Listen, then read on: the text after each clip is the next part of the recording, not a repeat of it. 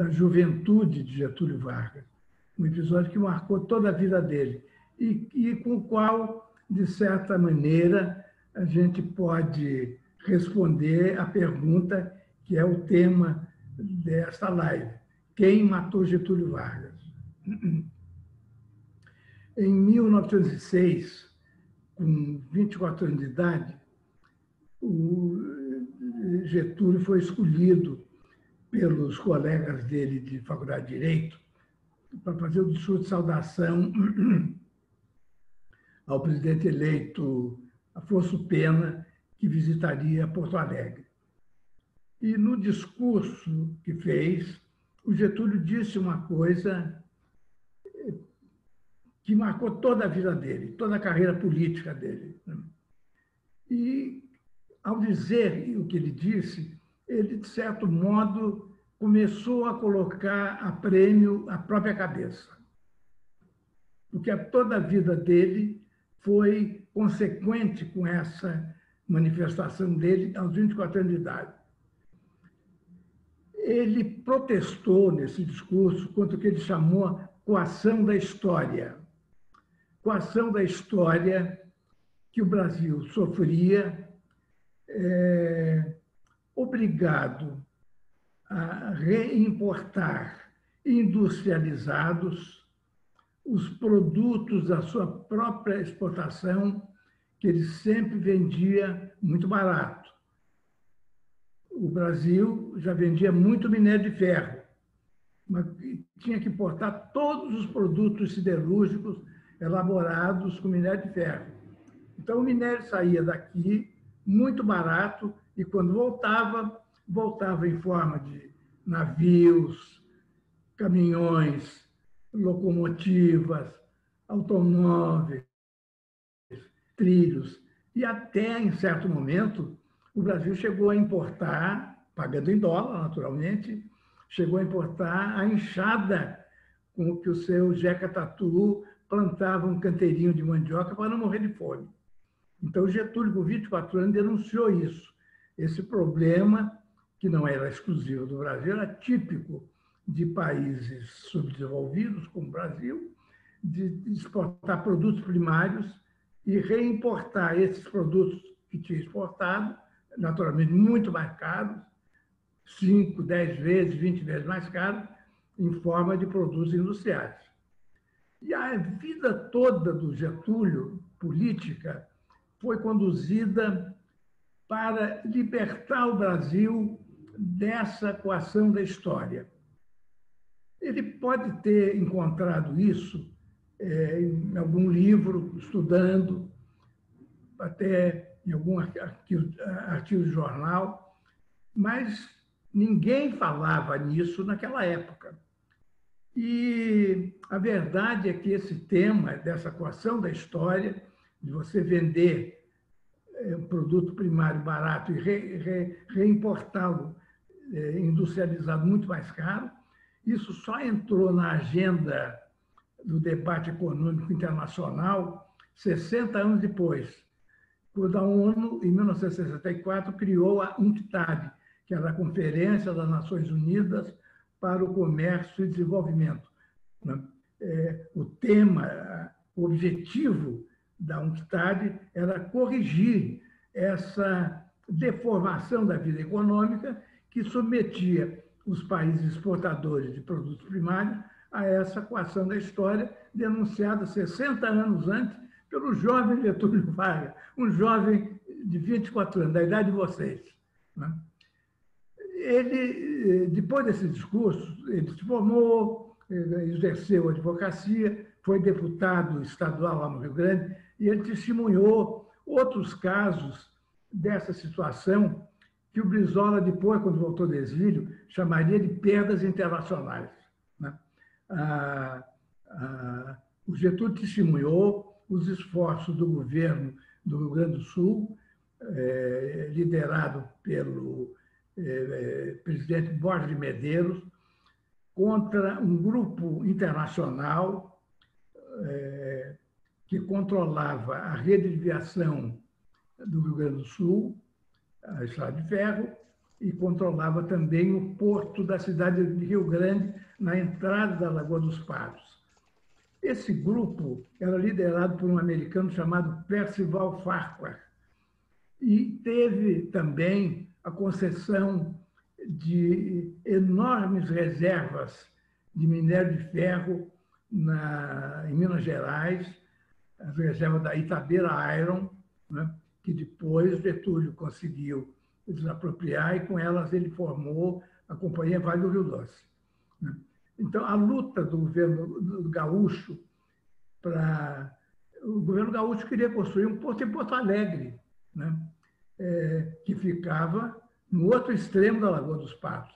E esse grupo Farco, que controlava lá o Porto do Rio Grande, entrou com todos os recursos judiciais possíveis e, por anos e anos, impediu eh, que, o governo do Estado construísse um porto em Porto Alegre. Esse grupo não investia na, na, na, na ferrovia, na aviação ferroviária do Rio Grande, né? e ela, os serviços que ela prestava eram péssimos. Né? E também o salário que ela pagava aos seus ferroviários era um horror. Houve até, na, em 1917, houve uma greve dos ferroviários e o governo do Estado mandou o chefe de polícia ir conversar com os grevistas. Não para reprimir a greve, mas para negociar com eles. Aí foi, eh, foi preciso convocarem tropa federal para reprimir a greve que o governo... Era um governo proto-trabalhista, dos precursores de Getúlio, dos sucessores de Júlio de Castilho. Bom, então, o Getúlio testemunhou tudo isso. Quando ele chegou em, em 1930, presidente da República, com a vitória da Revolução, ah, o Brasil estava atravessando uma, uma grande crise da sua economia cafeeira, uma crise que era consequência também da quebra da Bolsa de Valores de Nova York em 1929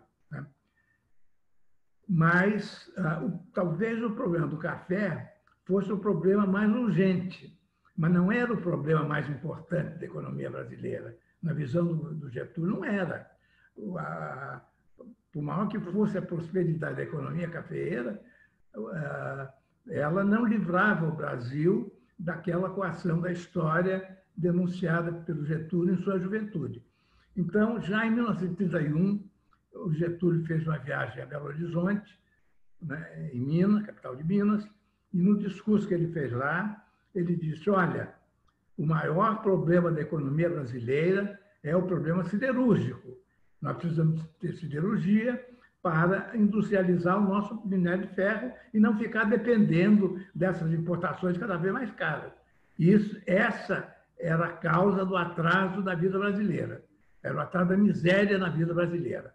Aí o Getúlio acrescentou: olha, se a iniciativa privada eh, não conseguir é, realizar a, a, construção de uma siderúrgica, o governo federal vai bancar. O governo federal vai bancar. Era já a semente de volta redonda, que começou a ser construída anos depois, já no período da Segunda Guerra Mundial, e que foi o início da nossa grande siderurgia, e que foi o início do processo que transformou o Brasil numa das dez maiores economias industriais do mundo. Então, já em 30, o Getúlio estava provocando, promovendo essa transformação da nossa economia. Mas não ficou nisso. Né? Ele, ele começou também a decretar a legislação trabalhista que, com toda certeza, foi a verdadeira realização, foi o começo efetivo da abolição da escravatura no Brasil. Ele, numa, numa mensagem ao, Congresso, à Assembleia Nacional Constituinte, em 1933, quando a Assembleia foi instalada, ele disse que tinha, logo no início do governo, criado os Ministérios da Educação e do Trabalho, porque a herança eh, da escravatura e do atraso social vinha da colônia e atravessou o império inteiro até as vésperas da proclamação da República, com a escravidão em vigor. O, Império, em 1888, aboliu a escravidão, mas não fez nada, nada pelos escravos libertados. E a República, proclamada em 1889, além de não fazer nada, a constituinte da Primeira República, dominada pelos barões do café da antiga província do Rio e da antiga província de São Paulo, que eram escravocratas, é, é, esse Congresso Constituinte da Primeira República proibiu o voto analfabeto, que era permitido no Império. E proibindo o voto analfabeto, é, é, privou de qualquer direito político os escravos que tinham sido libertados. E também a maioria da população trabalhadora, que era analfabeta, porque o Brasil simplesmente não oferecia escola para os seus filhos. Então, o, o, o Getúlio, no momento em que ele proclamava a necessidade de o Brasil se industrializar, ele proclamava também a necessidade do Brasil passar a adotar políticas de inclusão social, né? com o Ministério do Trabalho, com o Ministério da Educação. Né? É, ao criar o Ministério da Educação, ele justificou, foi, foi muito atrás da República. Ele disse o seguinte: olha, o, ainda em 1823, mal proclamada a independência, o José Bonifácio, que era o principal ministro de Dom Pedro I, e que foi o verdadeiro artífice, foi o cérebro e homem de ação da independência, o José Bonifácio, um projeto de, de Constituição que ele apresentou à Assembleia Constituinte, ele propunha que fosse obrigatório existir em cada vila, no país inteiro, em cada vila, uma pequena escola. Nem que fosse uma simples sala de aula, tinha que ter escola. Né? E em cada cabeça de, de comarca, que era onde ficavam juízes, promotores, eh, delegado de polícia, onde ficava a autoridade pública. Em cada cabeça de comarca tinha que haver um liceu que é o ensino, hoje era o ensino secundário, hoje acho que é ensino médio. Né? É, é, esse projeto do Zé Bonifácio não chegou a ser votado, porque Dom Pedro I, em, 1800, em novembro de 1823, deu um golpe de Estado, fechou a Constituinte, prendeu e exilou o Zé Bonifácio, aí pegou o projeto de Constituição do Zé Bonifácio, cortou esse negócio de escola, tinha também a, a, a abolição gradual da escravatura, tinha também a criação de uma universidade, não me lembro em que cidade. Né? Tudo que era assim, de avanço social, os assessores do Dom Pedro cortaram do projeto do Zé Bonifácio e outorgaram uma Constituição sobre a qual o Brasil viveu até a proclamação da República. Então, Getúlio, ao criar o Ministério da Educação, ele, ele explicou que retomava o projeto de José Bonifácio, de 1823. Portanto, o trabalhismo brasileiro é muito mais antigo do que nós pensamos. Ele remonta à Revolução, à Revolução de 30, ele remonta ao início da República, ele remonta até ao início do Brasil independente, com Zé Bonifácio de Andrade Silva. Né? Bom, a, a, a, tudo isso para dizer que, de certa forma, naquele discurso de, de 1906, com apenas 24 anos, a idade de vocês, o Getúlio já colocou a cabeça dele a prêmio, porque era um desafio que o pensamento conservador não aceitava. E claro que, enquanto ele era um estudante, não aconteceu nada com ele. Mas assim que ele chegou ao poder e começou a pôr em prática as suas ideias de desenvolvimento econômico e de justiça social, começaram a agir contra ele. Né? E a revolução dele foi em 1930. Já em 32 houve a chamada Revolução Constitucionalista de São Paulo, que não era nem revolução, nem constitucionalista. Ela era uma contra-revolução para anular aquilo que a revolução vinha fazendo, que era a legislação trabalhista, que era o encaminhamento da economia brasileira para o seu desenvolvimento e a sua industrialização. Né? É, e ela também não era constitucionalista, porque a eleição para constituinte que ela reivindicava já tinha sido convocada pelo Getúlio no Código Eleitoral de 1932. Código Eleitoral que estabeleceu o voto secreto para acabar com a fraude das eleições a bico de pena na Primeira República e, sobretudo, sobretudo, para conferir o direito de voto às mulheres. O Getúlio conferiu o direito de voto às mulheres muito antes de países assim de, de prestígio cultural como a França. A França só teve o voto feminino em 1946, depois da Primeira Guerra Mundial. O Brasil teve no Código Eleitoral de 32, já na eleição da Constituinte, em 33, as mulheres puderam votar. Decisão de Getúlio Vargas. Quer dizer, cada, cada avanço desse que ele promovia, ele mais colocava a sua cabeça a prêmio.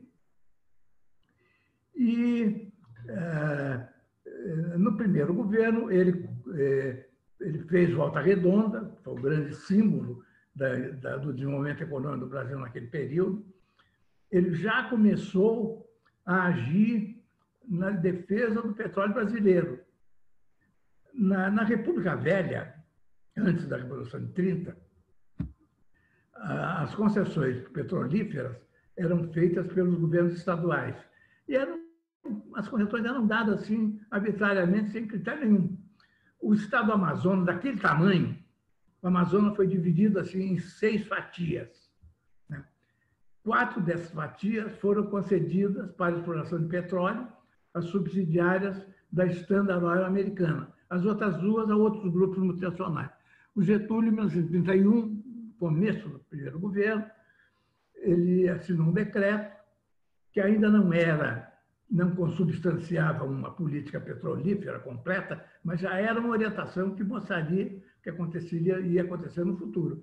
Assinou um decreto dizendo que os estados não poderiam mais fazer concessões sem pedir autorização em cada caso ao governo federal.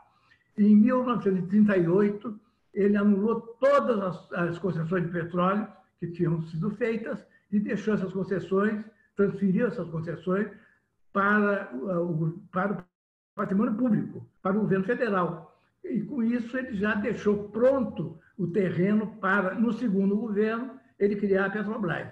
Então, vocês podem ver que, com tudo isso, o, o, o Getúlio foi criando hostilidade para ele, nos círculos econômicos norte-americanos e até em certos governos norte-americanos.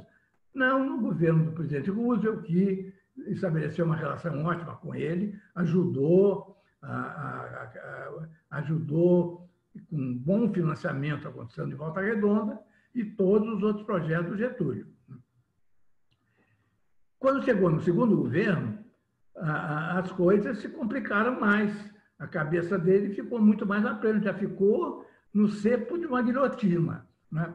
Ele, em primeiro lugar, recusou tropas brasileiras para a guerra da Coreia, que os Estados Unidos travavam lá do outro lado do mundo. Queriam tropas. Ele recusou, com jeito, para não, não criar muito alarme, mas recusou. Né?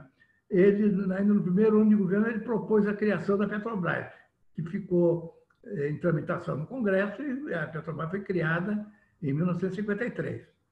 Ele propôs a criação da Eletrobras, que só veio a ser, a lei só veio a ser é, posta em prática no governo do Jango, já em, não me lembro se em 61 ou 62. Mas ele foi mais longe. Ele foi mais longe. Ele propôs ao Congresso regulamentar as desapropriações por interesse social para poder dar início a uma reforma agrária. E ele propôs também, isso foi engavetado no Congresso, ele propôs também estender aos trabalhadores rurais a legislação trabalhista que já atendia aos trabalhadores urbanos. Né? Aí, é, quando chegou o mês de agosto, houve um fato que mostra que a crise que levou o presidente Getúlio a ter de recorrer ao suicídio para defender as suas realizações não foi provocada por aquele atentado contra o Carlos Lacerda. É, no dia 1 de agosto, Getúlio foi, que era um domingo, o Getúlio foi assistir ao Grande Prêmio Brasil, no Rio, no Hipódromo da Gávea. Era praxe os presidentes irem assistir ao Grande Prêmio Brasil. Ele foi. E quando anunciaram a chegada dele, ele foi vaiado pelo pessoal que estava na tribuna, uma tribuna social, a tribuna de honra do hipódromo, que era a tribuna dos ricos, a tribuna dos granfinos, cheia de senhores eh, encartolados, vestidos de fraque, né? cheia de senhoras enchapeladas e cobertas de joias.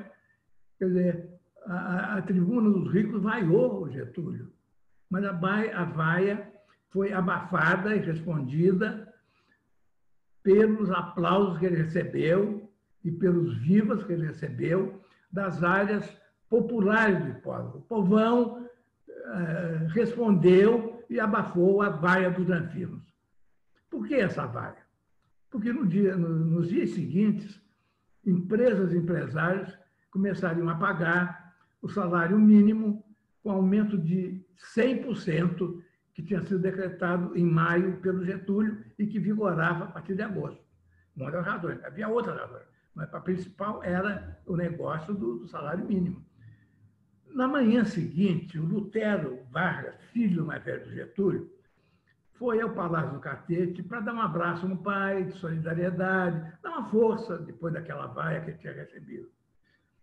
E no, no, no, no meio da conversa, o Getúlio perguntou se, ele, se o Lutero se lembrava de uma conversa que eles tinham tido em 40, 1945, quando Lutero chegou dos Estados Unidos com a informação de que o presidente Roosevelt estava praticamente moribundo, estava no fim da vida, e assim que o Roosevelt morresse, o governo Getúlio seria derrubado no Brasil. O Lutero, claro que se lembrava da conversa. Aí o Getúlio disse a ele: Meu filho, vai acontecer de novo. Ou seja, no dia 2 de agosto, três dias antes do atentado contra o Carlos Lacerda, o Getúlio sabia que estava em armação um golpe para derrubá-lo. E era claro que houvesse essa tentativa depois de tudo que ele tinha feito. E ainda só em 54 tinha a Petrobras estava entrando em funcionamento, o salário mínimo teve aumento de 100%, a Eletrobras estava tramitando no Congresso, eh, Volta Redonda, já havia planos para duplicar Volta Redonda. Quer dizer, de certo modo, em 54, em agosto de 54, a Revolução de 30 continuava é, com as suas realizações. O segundo governo Vargas foi, na verdade, a segunda etapa da Revolução de 30. Portanto, desde a juventude, ele desafiou ah, o poder econômico, e o poder político de países aos quais não interessava a emancipação econômica do Brasil. E ele sabia que pagaria um preço. Esse preço foi aquela crise que aconteceria mesmo se não tivesse havido o atentado contra o Carlos Lacerda. Mesmo que não houvesse o atentado, haveria o golpe contra ele. E ele sabia que ele, ele pagaria o preço do desafio que ele tinha feito. Ele, na juventude, foi um leitor dos, dos, dos trágicos da Grécia Antiga. Ele leu, entre, outros, entre outras peças dos trágicos, ele leu Prometeu Acorrentado, do Ésquilo. Quer dizer, o Prometeu é, roubou o fogo do Olimpo para, o homem, para os homens e foi condenado pelos deuses do Olimpo a ser acorrentado num, num penhasco na beira-mar e em que todo dia um abutre vinha devorar o seu fígado. Quer dizer, é, era, era a história de Prometeu era um mito, mas era um mito do homem que desafia os deuses do Olimpo. E o Getúlio desafiou os deuses do Olimpo. E por isso ele foi queriam acabar com ele de uma maneira humilhante, com a derrubada do governo dele, né? É, de modo a, em seguida, poderem desfazer o que ele vinha fazendo, destruir o que ele tinha construído. Né?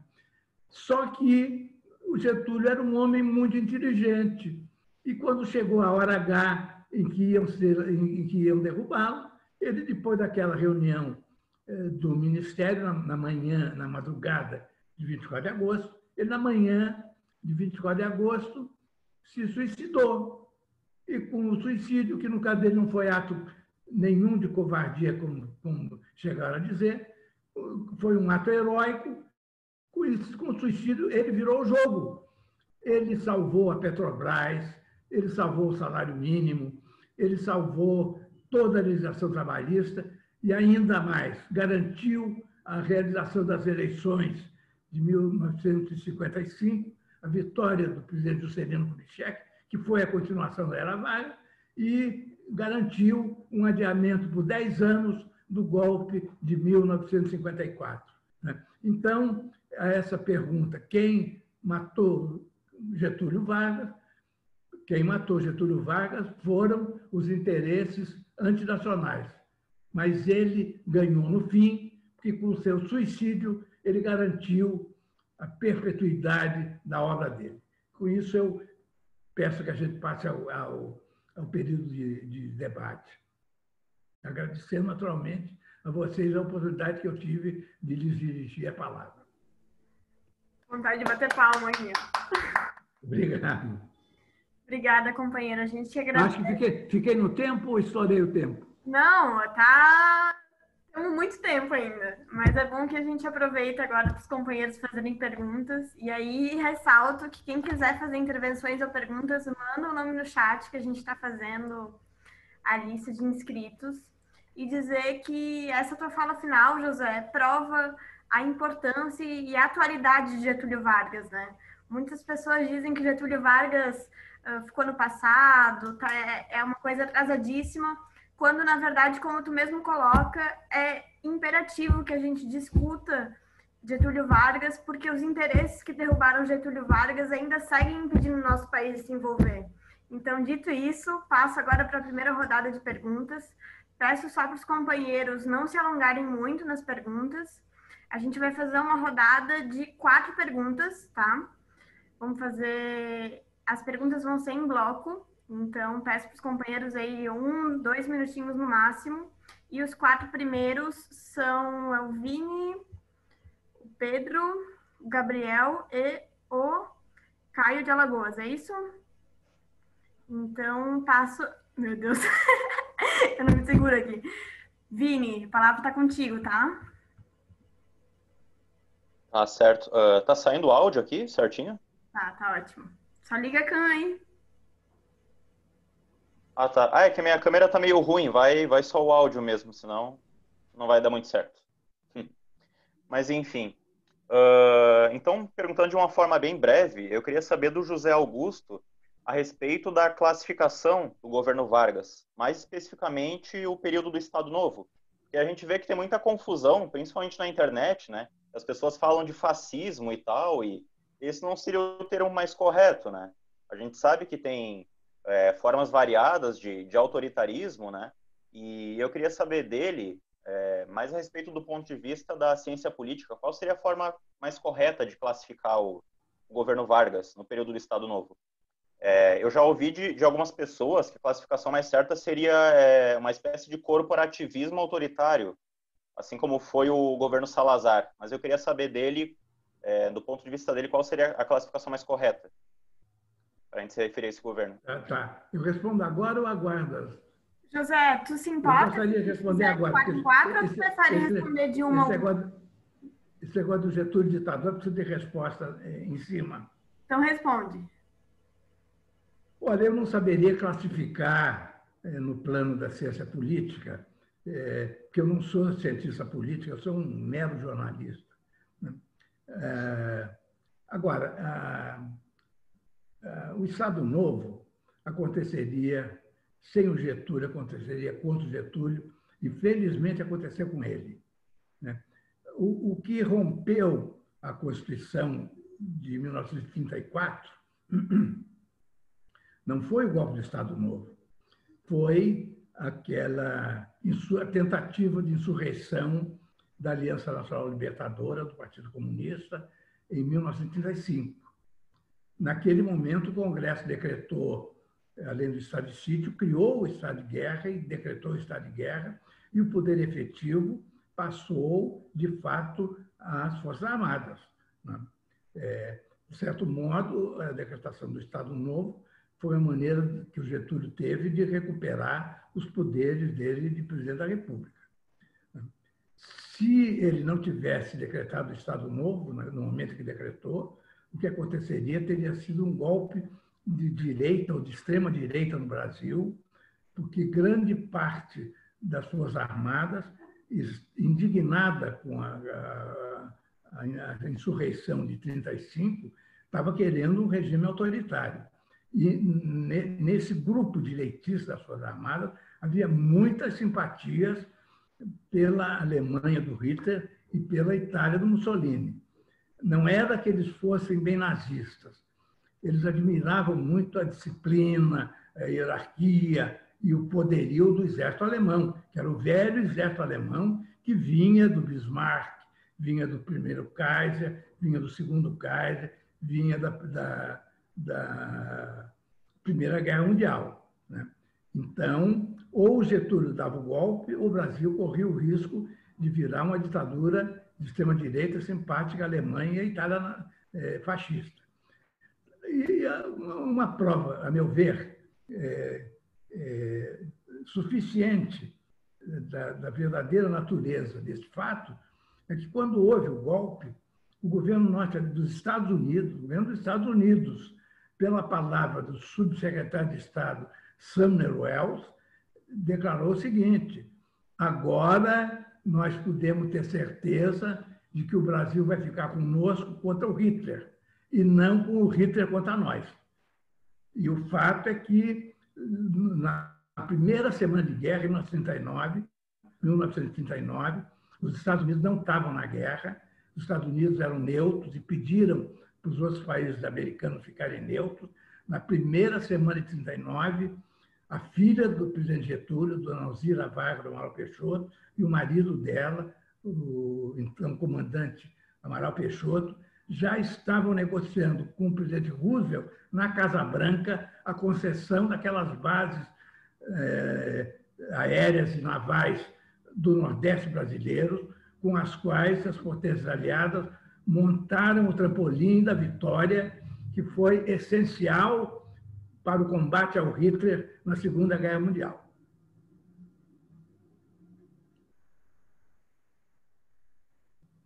Obrigada, José. Pedro, de Joinville. É... Boa noite a todos aí. Muito boa a fala do, do José Augusto Ribeiro, gostei Obrigado. bastante. Obrigado. Muito educativa. Bem, a minha pergunta ela é relativamente simples, assim. Eu queria saber mais sobre o atentado da Rua Tuneleiro contra o Carlos Lacerda. É, tem aquela famosa teoria, né, que na real foi o que eles julgaram, né, que foi os seguranças Soares do Getúlio que haviam arquitetado o atentado e, se não me engano, o chefe de seguranças lá, ele foi assassinado na cadeia, essa história que poderia ser uma, uma queima-arquivo, algo. Eu queria saber da, da opinião do, do, do senhor, né, qual que é a versão mais uma versão verídica, né? A versão que, que mais traz a verdade, porque essa hora de ah, o Getúlio com segurança se planejou um atentado, para mim parece muito contra-intuitivo, né? Muito muita teoria da conspiração paranoica assim. Ora, existe um livro muito bom que talvez só dê para encontrar em sebos, embora tenha tido recentemente, há poucos anos, uma, uma edição chamada Quem Matou Vargas, o autor era o Carlos Etoconi, um grande jornalista brasileiro, foi até muito amigo do Brizola. É, ah, o que parece que aconteceu é que o chefe da segurança, da guarda pessoal do presidente Getúlio, o Gregório Fortunato, foi envolvido é, até por gente que tinha ligações com a Embaixada Americana, né? e foi um trabalho muito bem feito. É, ele foi convenceram o Gregório de que ele era responsável pela vida do Getúlio, né? e que com a campanha do Carlos Lacerda contra o Getúlio, o que podia acontecer é que um, algum louco, algum maluco qualquer, eh, fizesse com Getúlio o que uh, tinham feito com o senador Pinheiro Machado, lá na Primeira República. Dizer, um camarada que era, tinha problemas eh, psicológicos, como esse que, que esfaqueou o Bolsonaro, mais ou menos a mesma coisa. Matou o, o, o senador Pinheiro Machado porque diziam os adversários que era preciso acabar o senador Pinheiro Machado, que ele era o maior mal da, da, da República Brasileira. Então, de um lado, convenceram o, o Gregório a entrar nesse esquema. De outro lado, ele, ele pode ter sido seduzido por vantagens materiais. Né? É, então, pelo menos nos sebos, é, pela, é, por aquele site Estante Virtual, vocês podem achar o livro do Coni, que é um livro, é, para mim, é o melhor livro para explicar a questão do atentado de Toneleiros.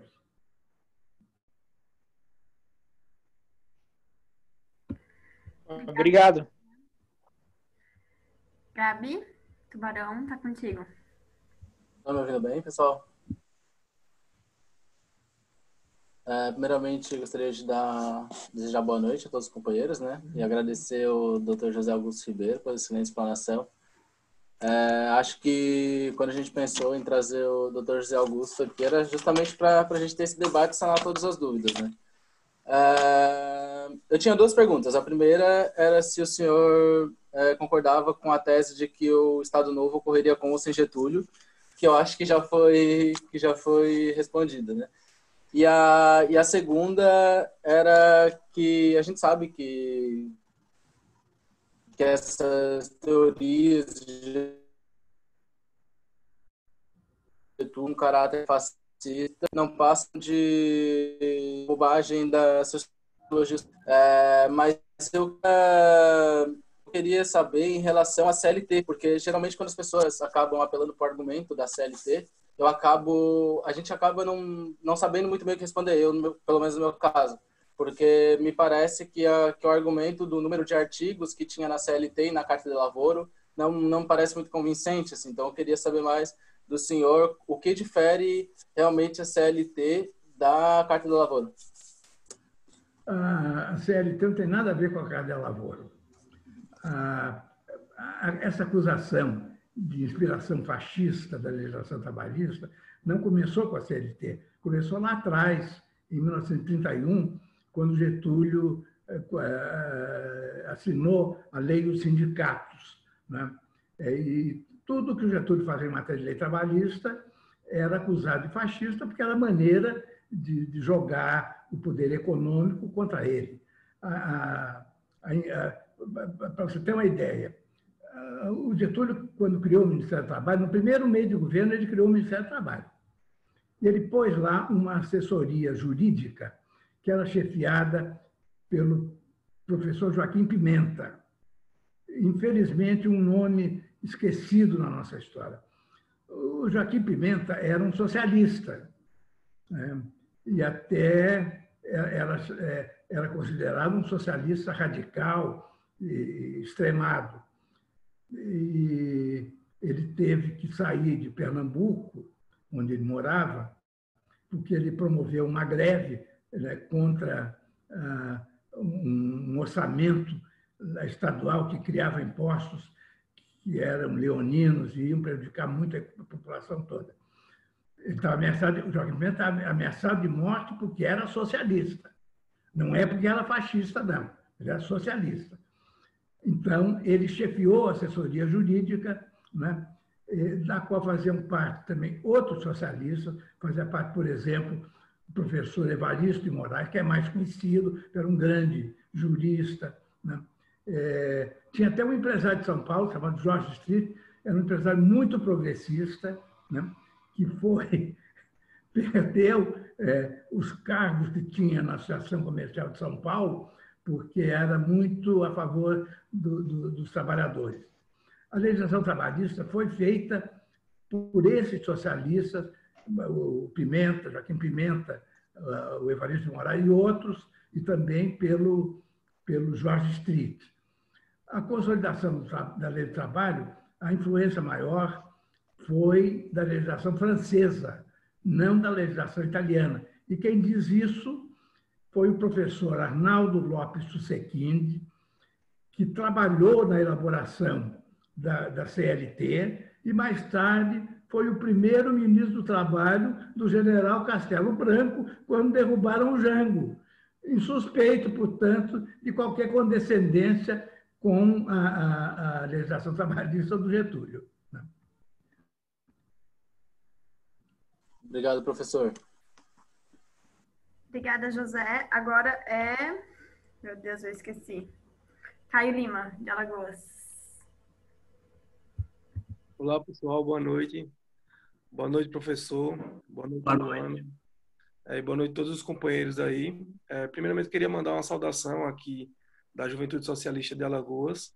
Lembrando que nós somos a terra do grande é, Pedro Aurélio Góes Monteiro, que foi o comandante militar da Revolução de 30. E eu gostaria, é, assim, hoje é uma data muito simbólica é, para todos nós trabalhistas e muito pessoalmente para mim. Getúlio foi o maior brasileiro que já pisou nessa terra. É, dito isso, eu gostaria de perguntar, professor, é, o seguinte sentido: o clube te, ali, em 1931, houve uma disputa interna do governo provisório entre a ala civil e a ala militar. Inclusive, é, inauguraram o Clube 3 de Outubro. E na ala civil, o Maurício Cardoso, é, esse gaúcho, é, deixou o governo, inclusive, é, muito decepcionado com, com a, digamos assim, a, a guinada que o Getúlio estava dando em favor do Clube 3 de Outubro. O senhor acha que esse foi um erro estratégico do Getúlio é, e isso alimentou o poder militar dentro das estruturas civis, e isso veio descambar no golpe de 64, se eu consegue fazer uma ligação. É, uma segunda pergunta, se eu posso fazer, é o que, é que você acha da linha editorial, da linha de pesquisa do Lira Neto, e terceiro, para finalizar, sendo bem breve, é, eu gostaria de saber o seguinte: como eu afirmei, Getúlio foi o maior brasileiro que já pisou. É, não é tão acesa, tão viva como a gente gostaria. É, os pais fundadores da pátria americana são celebrados a cada ano e aqui no Brasil nós nem sequer temos um feriado é, nacional em homenagem a Getúlio, que foi o grande construtor dessa pátria. Como você acha que a gente deve recuperar essa memória e Getúlio ocupar o seu lugar na história que lhe é devido? Obrigado. Em primeiro lugar, eu quero cumprimentar o companheiro por ter lembrado o general Guai Monteiro. Na, na eleição de 1950, queriam impedir a posse de Getúlio e quem, o chefe militar que mais firme com ele, garantiu a posse dele, foi o general Guai Monteiro, que é uma figura muito discutida, mas teve, não só foi comandante, foi chefe do Estado-Maior na Revolução de 30, e em 50 é, é, deu força para a posse de Getúlio. Né? Ah, essa questão do conflito entre militares e civis ah, eu não creio que tivesse havido uma guinada do Getúlio a favor dos militares. É, ele queria realizar o programa mínimo é, da Revolução, as promessas que ele tinha feito. Ele tinha prometido a legislação trabalhista, ele tinha prometido o voto secreto, né? É, e a, o, esse pessoal que se indispôs com ele, o que não queria era que a Revolução avançasse. Né? Agora, a Revolução foi. Em, começou a operação, as operações militares começaram em outubro, 3 de outubro de 30. A posse do Getúlio foi em 4 de novembro de 30. Em 31, ele já estava decretando as leis trabalhistas, já estava pensando no projeto de Volta Redonda, já estava adotando medidas em defesa do petróleo. Naturalmente, isso contrariou é, interesses poderosos que tentaram eh, ir minando a, a, a Revolução, e a maneira de minar a Revolução naquele momento era criar um conflito civil-militar e era também exigir uma, uma, uma eleição imediata. Né? O Código Eleitoral foi aprovado até rapidamente, foi aprovado em, em fevereiro de 32 e, e, e adotava não só o voto secreto, como adotava o voto feminino. Era preciso haver um, um, um novo alistamento eleitoral, inclusive incluindo as mulheres, que antes eram proibidas de votar. Quer dizer, não dava para fazer em 24 horas uma eleição. Agora, esse pessoal não queria, era o avanço social e o avanço econômico da Revolução. E dá para você me lembrar as outras perguntas?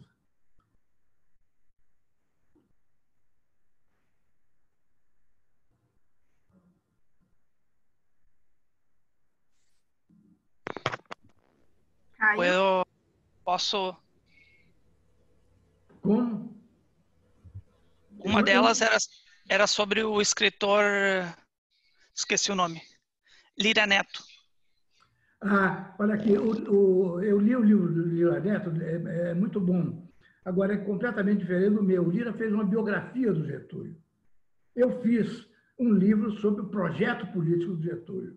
Quer dizer, a, a, a, eu não tive a imparcialidade dele, eu defendi o projeto do Getúlio. Eu me lembro até, quando o livro estava para ser lançado, eu sugeri na editora botar assim, em cima, em volta da capa do livro, um, eu não sei como é que chama isso, você põe um papel que, que, que envolve o livro, e eu que, que sugeri que fosse escrito assim, se você quer mais um livro contra o Getúlio, compre outro. Esse é a favor. É a diferença. O Lira tentou é, uma, uma imparcialidade que eu deliberadamente não, não, não tentei. Eu quis fazer um livro de defesa do projeto do Getúlio, que eu acho que não está no nosso passado, está no nosso futuro.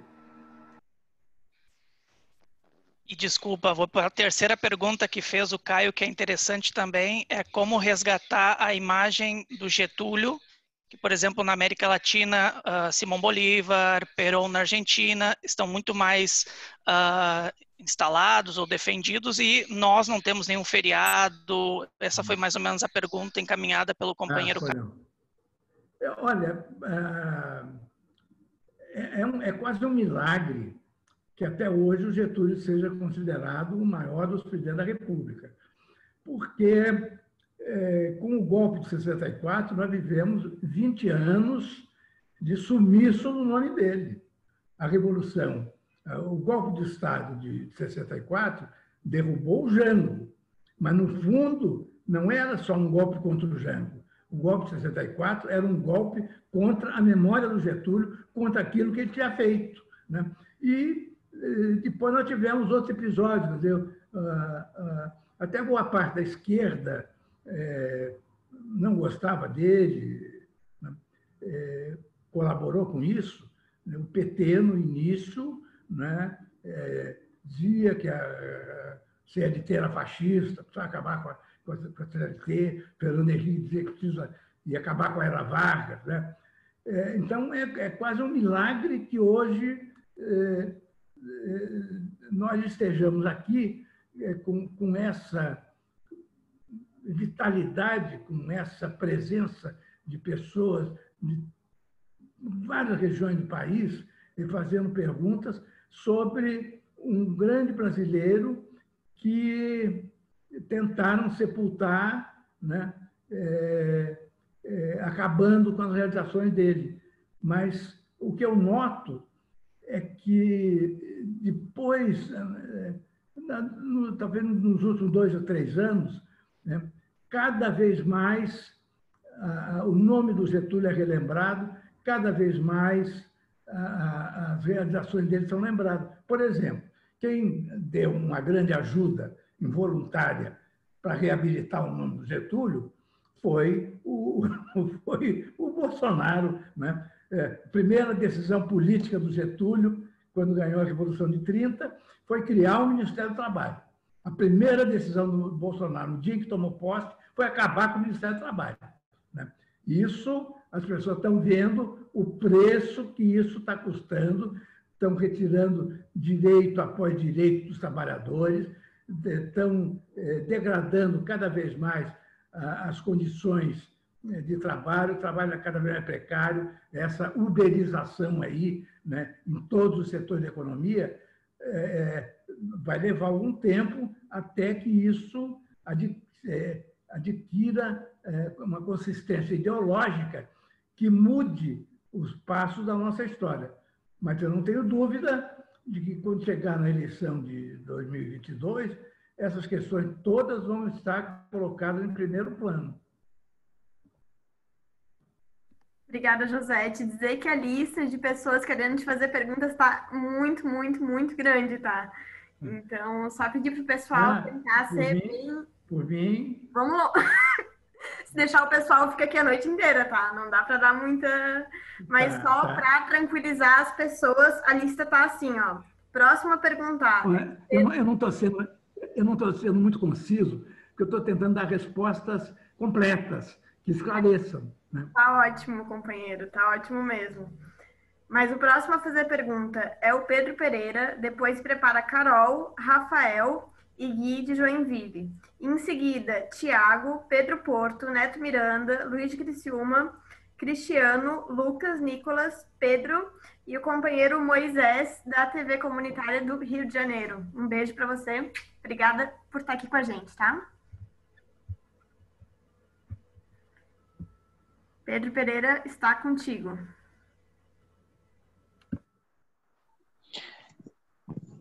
Olá, boa noite. Todos me escutam?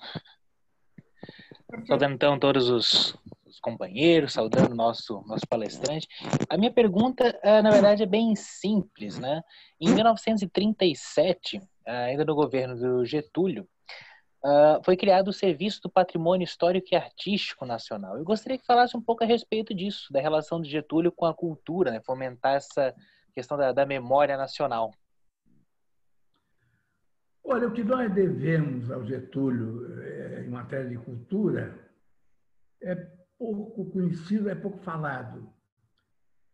Por exemplo, quem reabilitou o Tiradentes foi Getúlio criando ah, o feriado nacional do Dia da Inconfidência. É... Ele gostava de viver cercado de artistas, até é um folclore. É, tinha um, no antigo teatro de revista, que era um teatro que misturava música com, com humor, né? É, o Teatro Revista sempre era muito crítico do, dos governantes, dos políticos em geral. O, o, Getúlio ia sempre às pedras de Teatro Revista, na Praça Tiradentes, no Rio, que era o, o, o centro desse teatro, né? e ia para ver um comediante que eu chamo Pedro Dias, que fazia imitação dele, né? é, é, fazia piadas a respeito dele. Né? É, e o, o, clima cultural que cercava Getúlio, vocês podem avaliar pelo fato de que, quando nós começamos a entrar no ar aqui para essa live, qual foi a música que nós ouvimos? O Bota o Retrato do Velho, Bota o Retrato do Velho, Bota o Retrato do Velho no mesmo lugar, que o sorriso do velhinho faz a gente trabalhar. Foi um grande sucesso. Eu, me, eu, era, eu era garoto, adolescente, no ano em que, em que essa música é, foi lançada e fez sucesso, e foi cantada por um, cantor negro chamado Blackout. Quer dizer, é, o, o, o, apelido que botaram no Blackout foi um apelido americano, né? talvez para lembrar como o racismo é profundo nos Estados Unidos. Pode ter sido essa a intenção. Mas então, o Getúlio vivia cercado por esse ambiente todo. E no, no que ele eh, podia agir, né? ele agia. Então, para dar um exemplo, é, o Vila Lobos, o nosso grande Vila Lobos, tinha, como em geral tem os artistas, uma vida muito precária.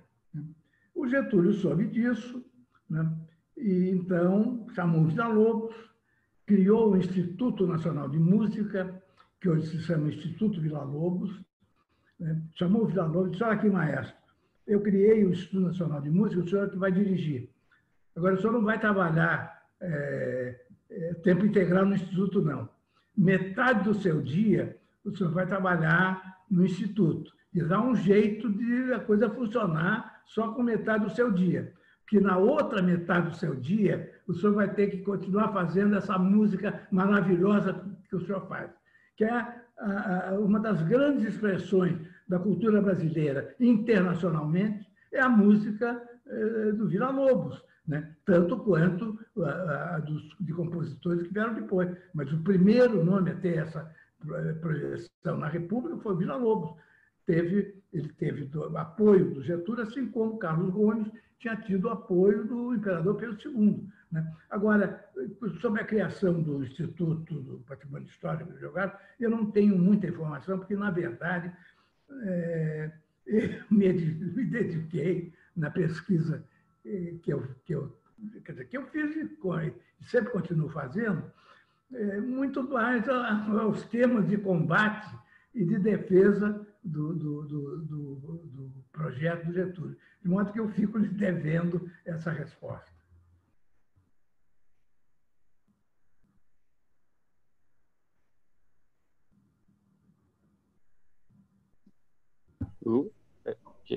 Agora, agora é a Carol, presidente da JTS de Porto Alegre.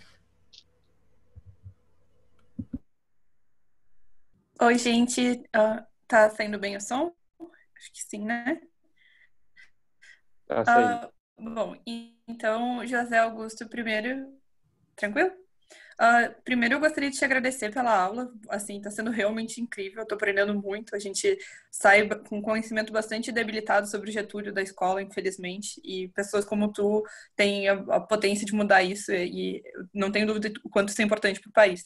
O que eu gostaria de te perguntar é o seguinte: em relação à visão política do Getúlio, a ideologia dele, porque uh, sem dúvidas, Getúlio era um trabalhista, mas ao longo do governo dele, da vida dele, ele começa a usar o termo socialista em, algum, em algumas ocasiões, né? Tem até aquele comício de 46, que é muito comentado, é. em que ele fala que se filia a democracia socialista, que a democracia é. capitalista é. está decaindo. Eu gostaria de saber um pouco sobre isso, assim, se uh, isso se apresenta em outras situações e como tu vê essa perspectiva socialista do Getúlio, se ele é um socialista? O que, que o socialismo significa para Getúlio? Qual é a concepção que ele tem sobre isso, né? Então, essa é a minha pergunta. Muito obrigada. Olha, ele, ele sempre se diz que ele foi muito influenciado pelo positivismo. Todo aquele pessoal do, do Rio Grande do Sul, desde Júlio Castilho, Borges de Medeiros, todos eles eram influenciados pelo positivismo e pelo Augusto Conte. Agora, o Getúlio, mais do que pelo Augusto Conte, o Getúlio foi influenciado, como ele revelou numa entrevista a um jornalista gaúcho, você deve ter, de quem você deve ter tido notícia, Décio de Freitas, numa entrevista, o Décio de Freitas, eh, no período em que estava lá exilado em São Borja, o Getúlio disse que a grande influência intelectual que ele sofreu não foi Augusto Conte, foi o conde Henri de Saint-Simon, precursor de todas as escolas socialistas europeias, inclusive o marxismo. Né? O, próprio Augusto Conte, quando estudante, trabalhou como secretário do, do Conde Saint-Simon. Então, o Conde Saint-Simon era um socialista, não naturalmente na, na, nas proporções em que os socialismos evoluíram e chegaram aos dias de hoje, mas era, era um socialista e o Getúlio tem esse discurso, que ele abertamente se diz socialista. Agora, é, é, na verdade, todo aquele grupo gaúcho né, tinha esse pendor. O, o, o Partido Republicano Rio-Grandense, fundado pelo Júlio de Castilhos, em 1882, era um partido pré-trabalhista e, portanto, pré-socialista é, é, chamar Partido Republicano, mas a prioridade dele, desse partido, era a abolição. Era um partido, é, é, era uma coisa, era um partido apaixonadamente defensor da abolição. E o Castilhos, foi essa razão desse pré-trabalhismo, foi essa razão. O Castilhos, em 1882, iniciou uma campanha para que os senhores de escravos libertassem os seus escravos sem o pagamento de alforria ou indenização. E no jornal do Partido Republicano, do qual Getúlio foi redator, ele, ele escreveu assim: olha, é uma vergonha um, um, ser humano aceitar dinheiro pela liberdade de outro ser humano. Entre 1882, data da fundação do partido, e 1888, data da lei da abolição, da lei áurea, né, o Partido Republicano do Júlio de Castilhos conseguiu libertar 90% dos escravos que existiam no Rio Grande do Sul. Havia 60 mil, mais ou menos 60 mil escravos. Na época, ele libertou sem pagamento de indenização. Isso é que é importante. Libertou 54 mil escravos. Né? Quando veio a abolição, só havia 6 mil escravos no interior. Em Porto Alegre, nas cidades maiores, não havia mais nenhum escravo. Né? Então, já nessa época, já o Partido Republicano Rio-Grandense, que foi o partido original do Getúlio, era um partido pré-trabalhista e, portanto, um partido pré-socialista.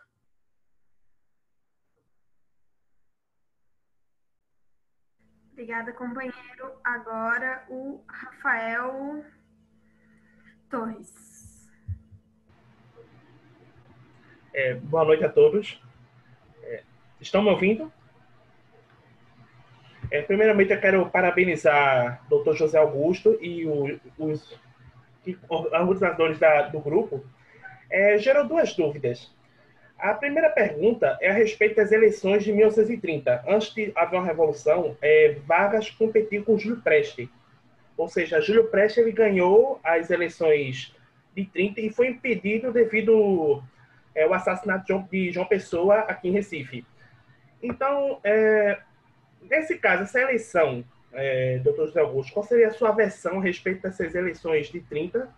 É, houve fraude, no caso, é, dessas eleições. E a segunda pergunta é qual seria o papel que a elite é, oposicionista de que tentou derrubar é, Getúlio Vargas em 54 no governo Dutra. Dutra favoreceu essa elite para poder tentar enriquecer essa oposição ou apenas se tornou neutro nessa questão da, da oposição e a Vargas e situação? Então essas são as minhas duas perguntas. Obrigado. Tá? Há um equívoco a respeito do assassinato do, do João Pessoa, presidente da Paraíba e candidato a vice-presidente Getúlio. Que se diz é que a Revolução estava morta, ou a ideia da Revolução estava morta, e ressuscitou com o assassinato do João Pessoa. O assassinato dele não foi por motivos políticos, foi, é, é, foi até um caso passional, né? porque ele tinha mandado publicar no jornal lá da, da Paraíba correspondência amorosa, até erótica, de um advogado que era inimigo, da, da, da inimigo, inimigo de família. Né? É, e esse advogado foi e matou, se vingando de, desse, desse ato do João Pessoa. É, é, no, no, no, dia em que o João Pessoa foi assassinado, tinha desembarcado em Porto Alegre é, o Virgílio de Melo Franco, que veio a ser o secretário do Estado-Maior da Revolução. Era um, era um político mineiro, muito jovem, Virgílio Melo Franco. E ele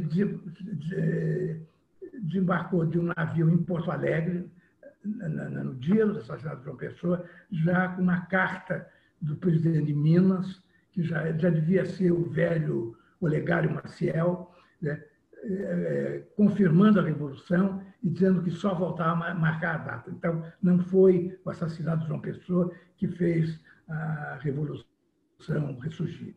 Né? É, e agora você pergunta sobre 54. É,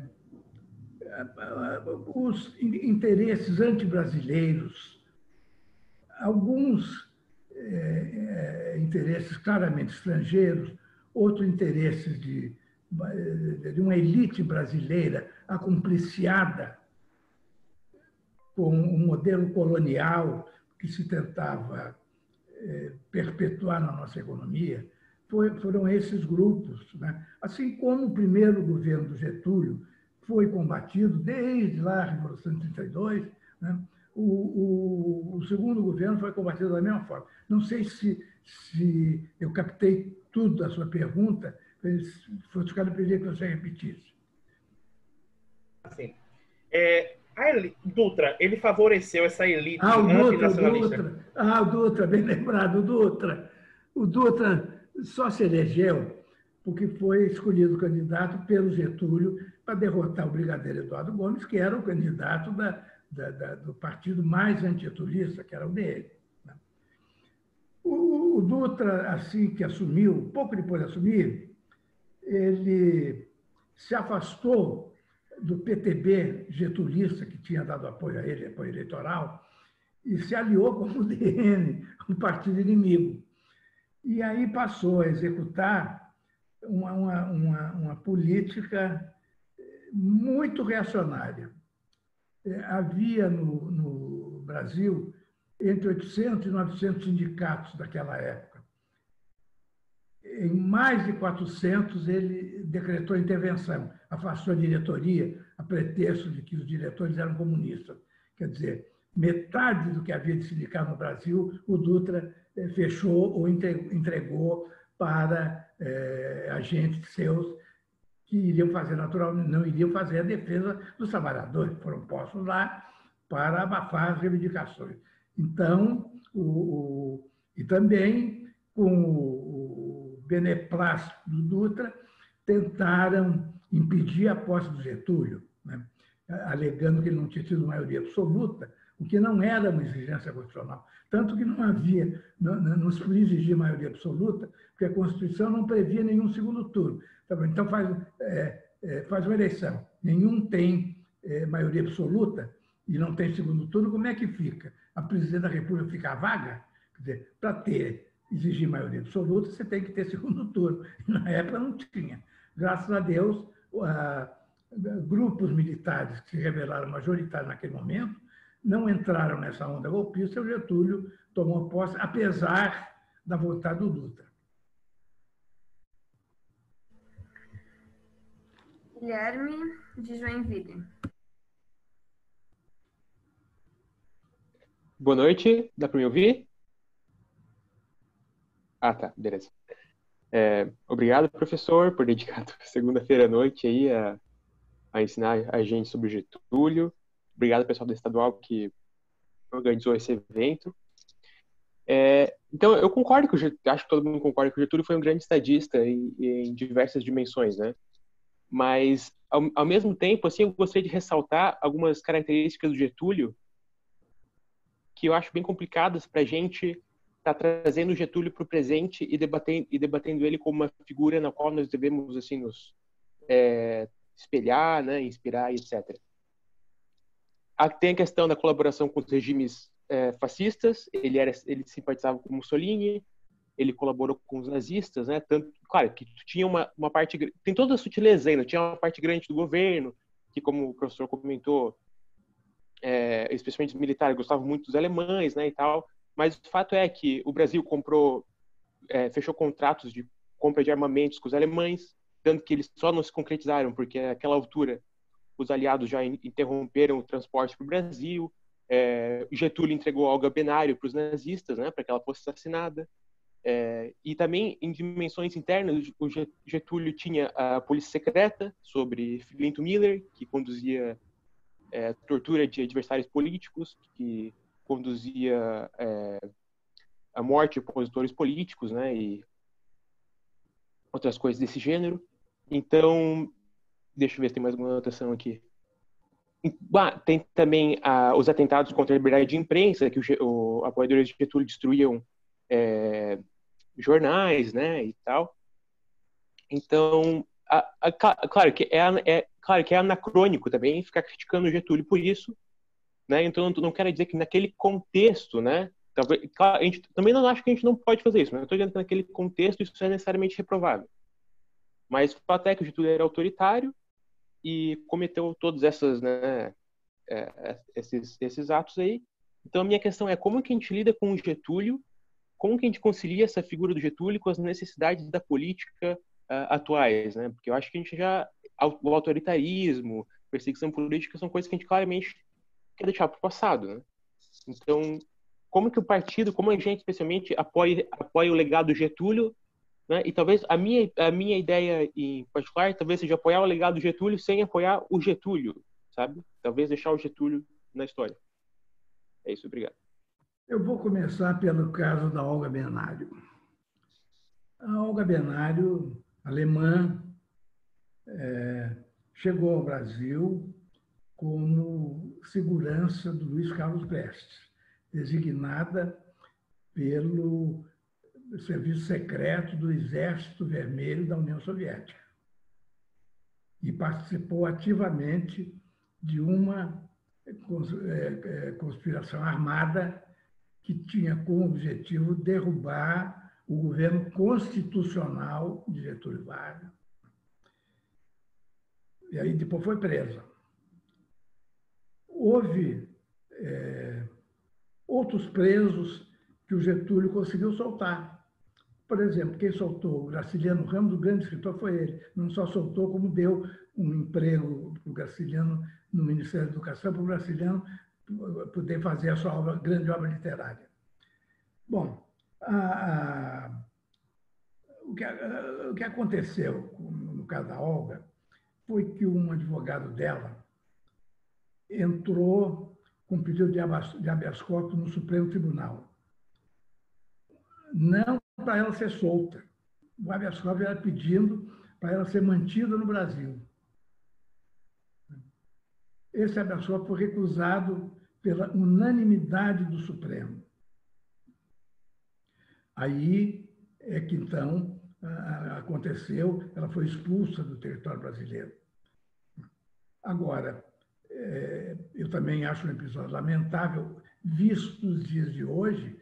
Agora, houve um grupo de senhoras que foi procurar a mulher do Getúlio, a dona Darcy Vargas, para ver se era possível dar um jeito de, de ele manter a Olga aqui no Brasil, da mesma forma que tinha conseguido a libertação do Graciliano Ramos, conseguiu a libertação do professor Hermes Lima, que depois foi primeiro-ministro, conseguiu a libertação do professor Leônidas de Rezende, conseguiu a libertação do professor Carlos Rabelo.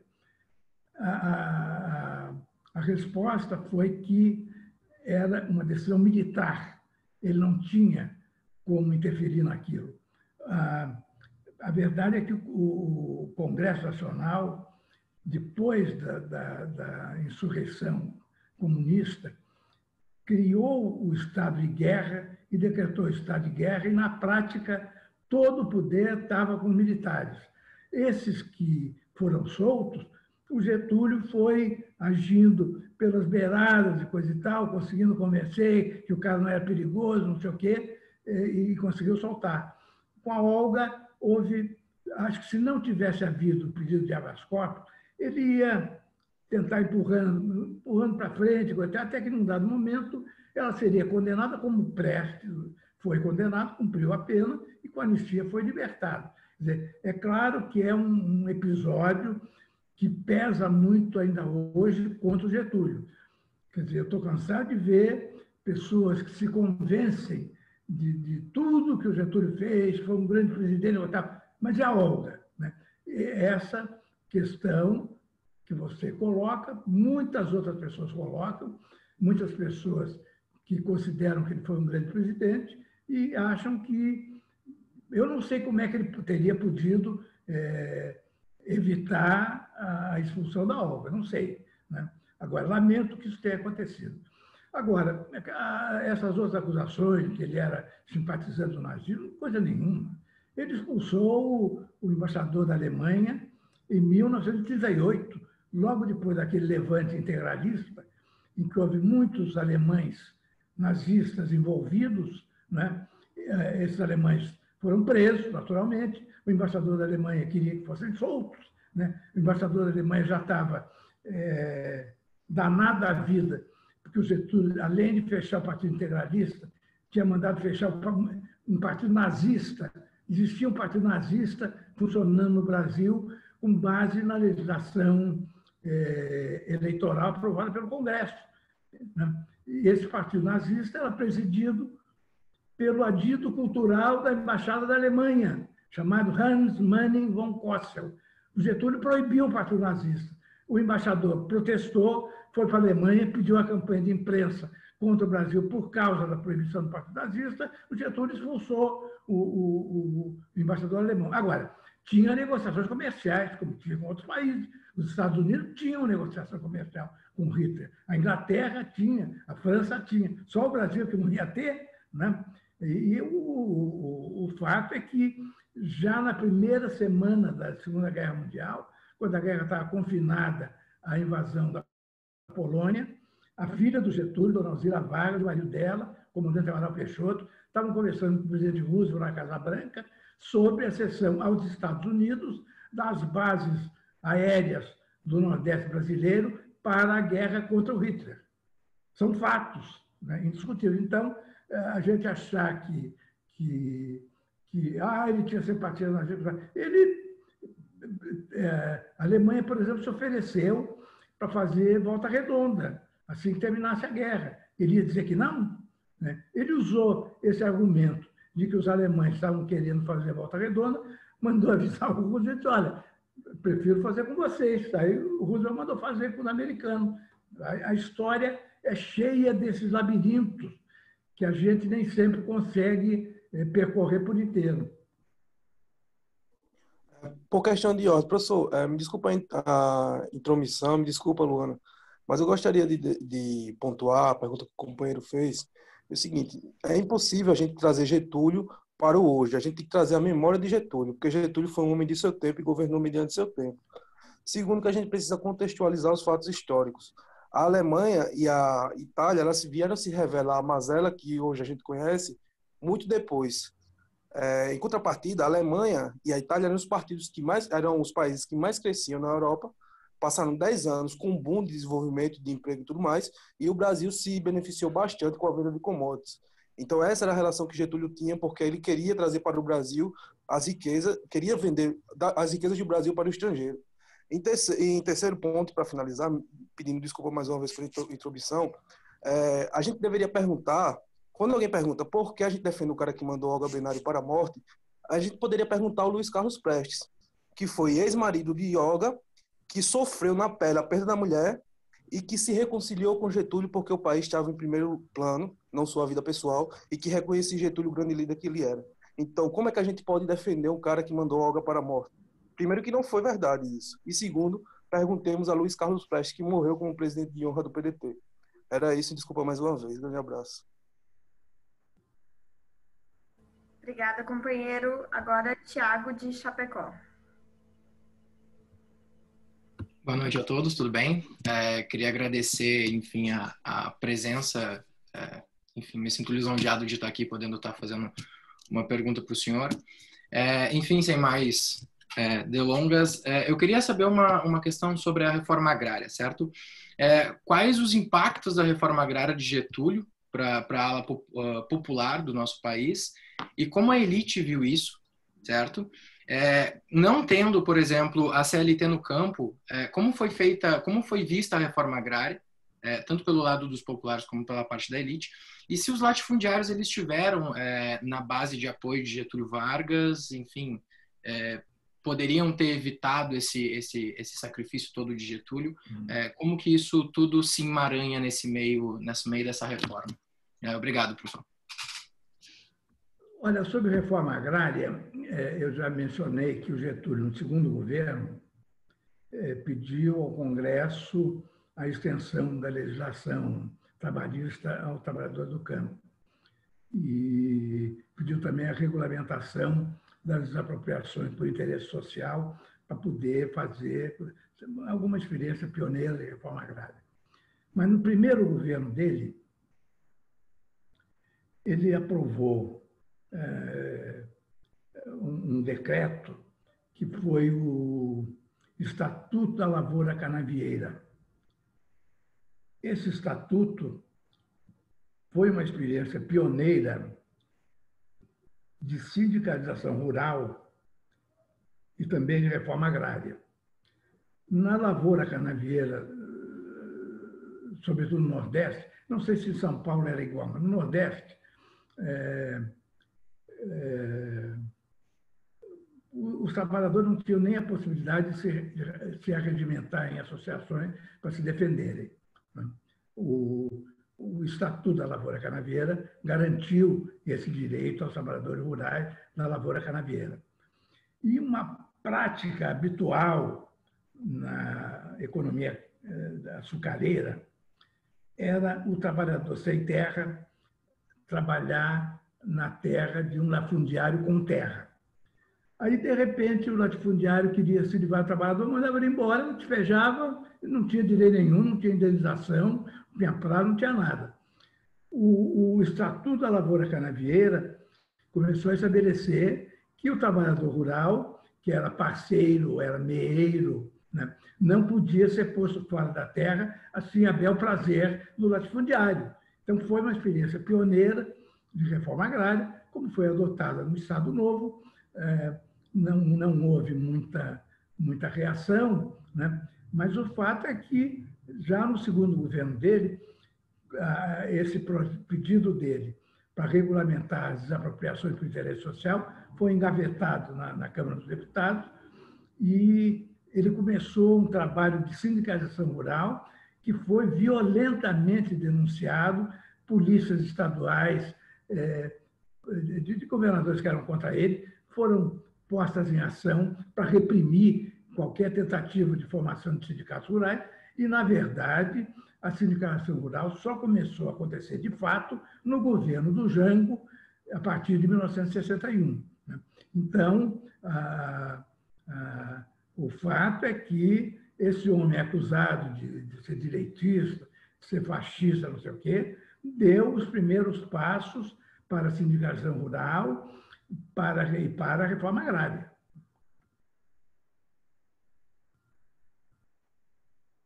Não sei se respondi tudo que você queria. José, ainda, estão, ainda, ainda temos sete perguntas aqui, tá tranquilo? Tá. Podemos tocar? Você é que manda. Pedro Porto. Boa noite, boa noite, vocês estão me ouvindo? Show. Professor, antes de tudo, gostaria de lhe agradecer. Para mim é uma, uma honra estar aqui com o senhor. É, gostaria de, antes de fazer minha pergunta, que na verdade minha pergunta principal já foi respondida nessa aula maravilhosa, mas vou aproveitar a oportunidade para dizer que o presidente Carlos Lupe e o companheiro Oswaldo Maneschi, que a Luana já comentou, é, estiveram hoje em um ato na, na Cinelândia, no Rio de Janeiro, e o senhor foi nominalmente citado, foi lembrado. Opa! É, olha aí. Ele comentou, inclusive, da, do lançamento do livro que ajudou o senhor, se não me engano, no Palácio do Catete, enfim.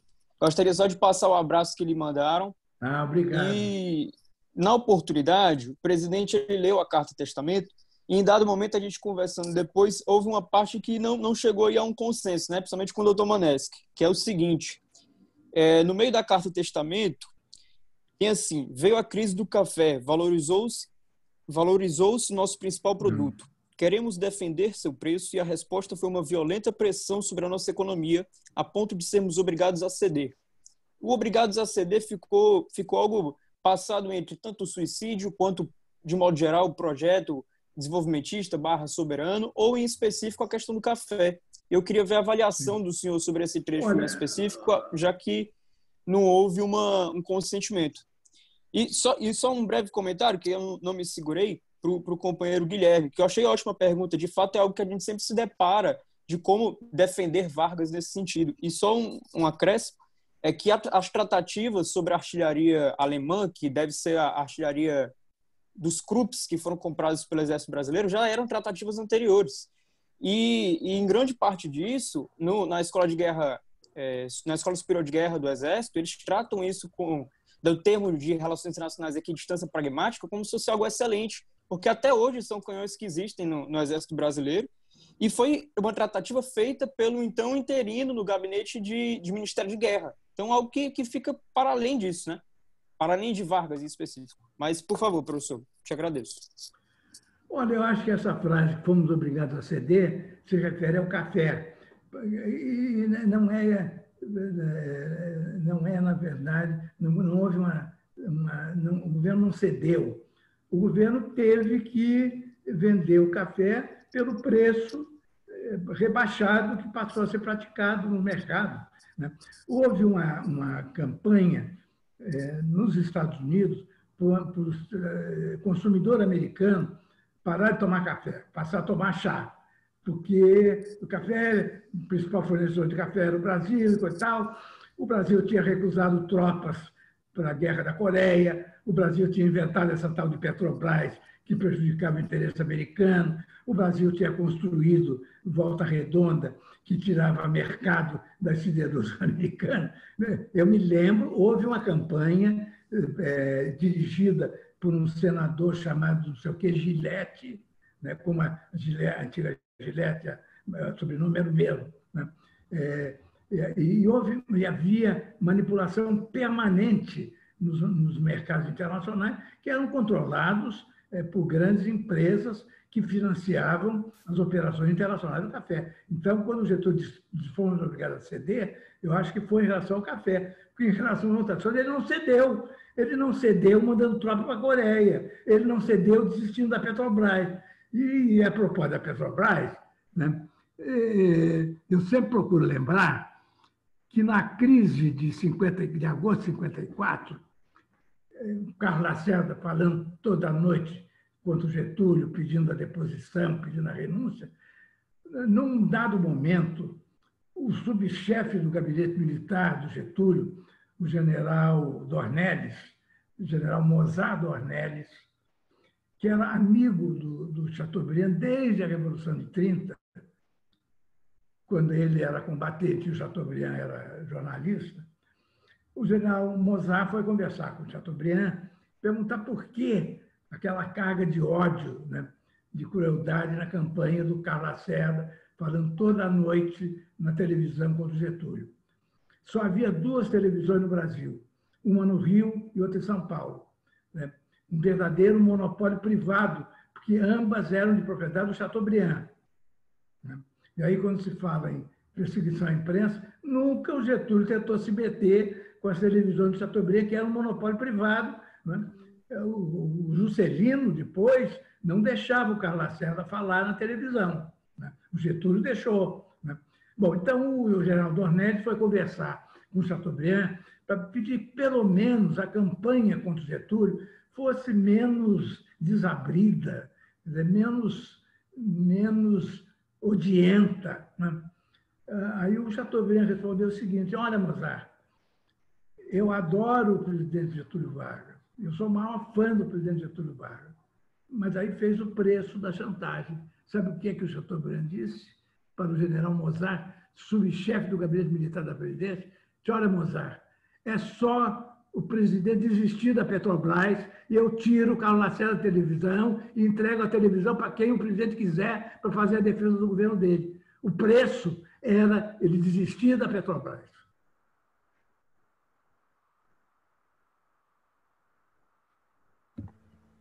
Neto Miranda. Estão me ouvindo? Vocês me ouvem?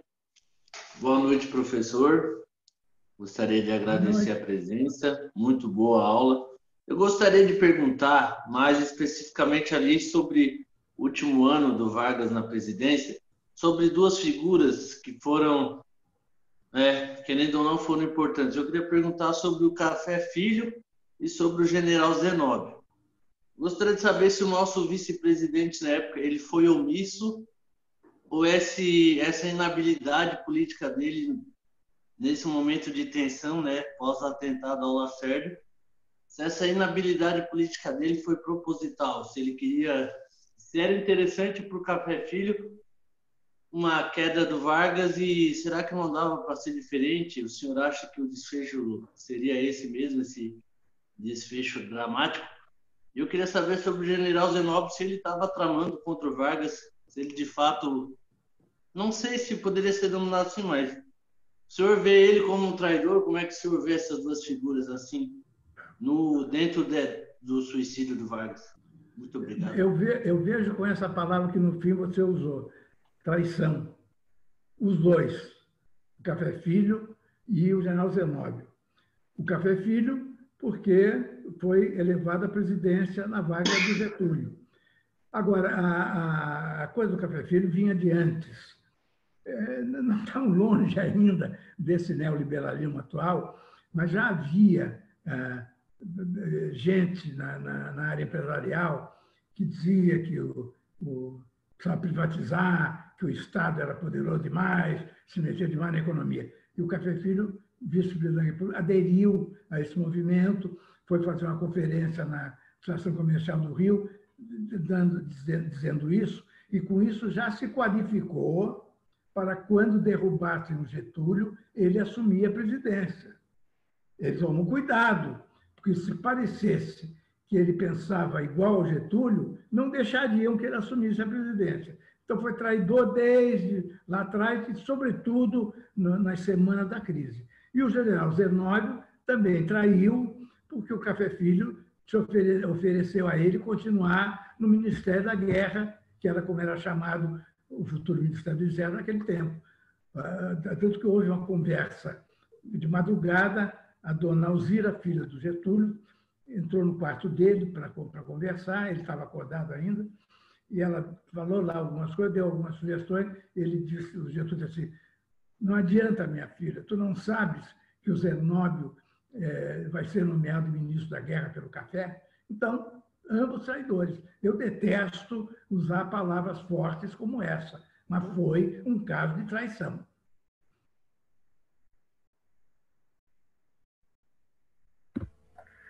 Luiz Otávio. Estão me ouvindo? Beleza. Boa noite, professor. É um prazer estar com Boa o senhor noite. aqui. Foi uma aula excelente. Muito obrigado por, por ter passado essa aula para a gente. É, eu quero trazer um assunto que foi matéria de polêmica no nosso congresso passado, mas eu não posso deixar de ouvir isso do senhor.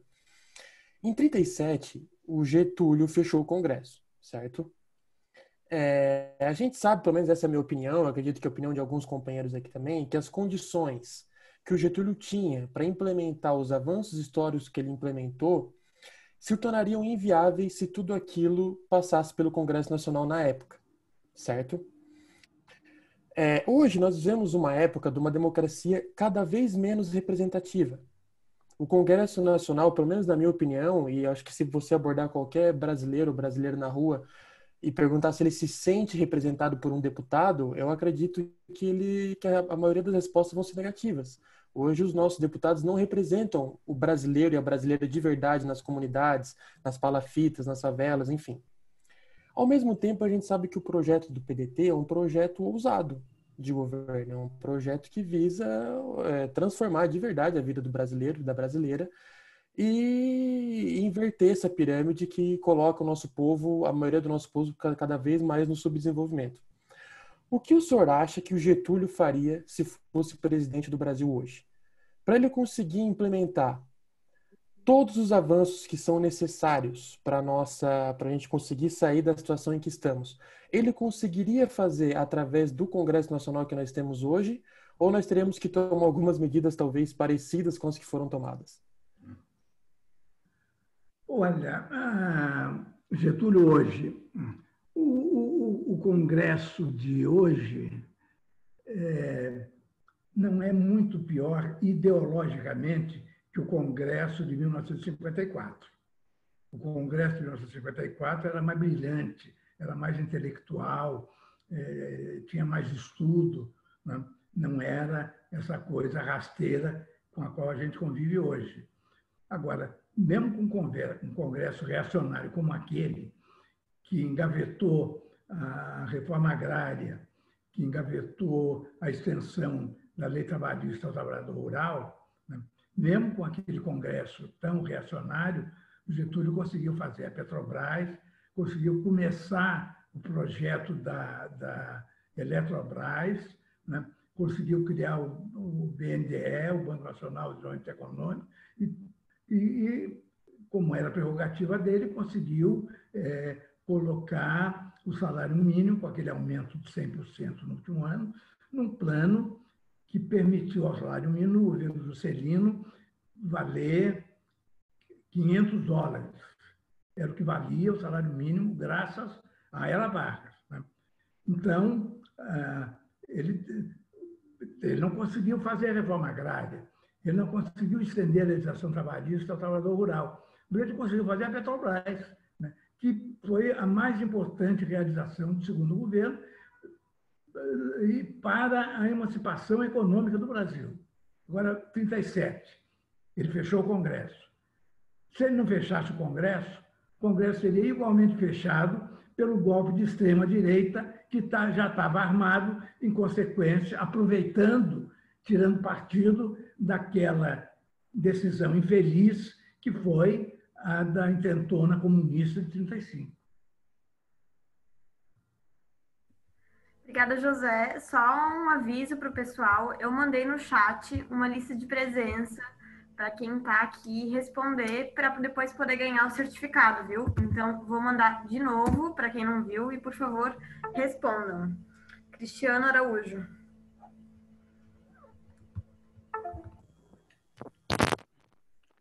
Boa noite, professor José Boa Augusto. Noite. Primeiramente, eu estou muito feliz de estar aqui com o senhor, né? Até porque eu tinha muita vontade de adquirir o teu livro, mas não foi dessa vez. Mas fiquei muito feliz de saber que lançaram aí a Braba que vai ser lançado um novo livro, né? O que me deixa muito feliz porque eu sempre tive curiosidade de ler o teu livro. Mas, professor, eu vou tentar aqui improvisar uma pergunta para o senhor, porque eu confesso que eu estou um pouquinho nervoso, porque, assim, é uma presença muito forte e presenças fortes sempre me deixam um pouco nervoso. Bom, professor José Augusto, eu considerei muito interessante e, ao menos para mim, até um pouco inédito, aquela referência que o senhor fez ao José Bonifácio de Andrade e Silva. Inclusive, quando o senhor se referiu que o próprio Getúlio ele se referiu ao projeto dele quando da nossa recém-proclamada independência e que o Getúlio, inclusive, tu comentaste que ele fez o possível para resgatar. Bom, o José Bonifácio, como qualquer homem que se envolve com o poder político, ele também está sujeito às contradições. Já visto que horas ele é visto como o patrono da independência e horas ele é visto como alguém ligado ao império e até mesmo dentro de um período histórico ele foi considerado como um defensor da monarquia lá no período regencial, quando ele ainda era tutor né, do, do Dom Pedro II.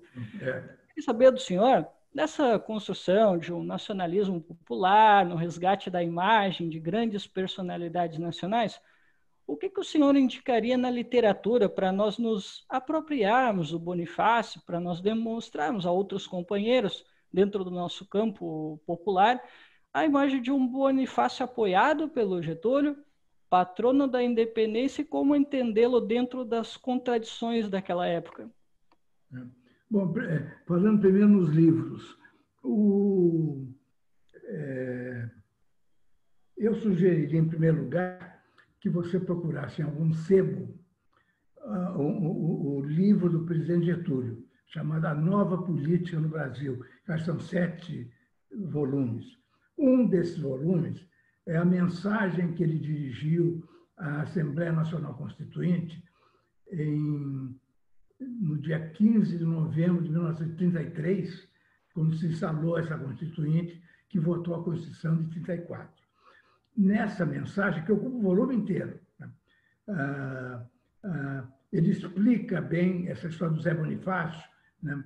é, é, que o, o, governo imperial recusou a proposta do Zé Bonifácio de, de desenvolver a educação e, libertar os escravos. Esse seria o primeiro livro ah, tem é, uma coleção chamada História dos Fundadores do Império do Brasil, de Otávio Tarquínio de Souza, que acho que é cara, porque era aqueles livros antigos encadernados, bonitos, coisa e tal.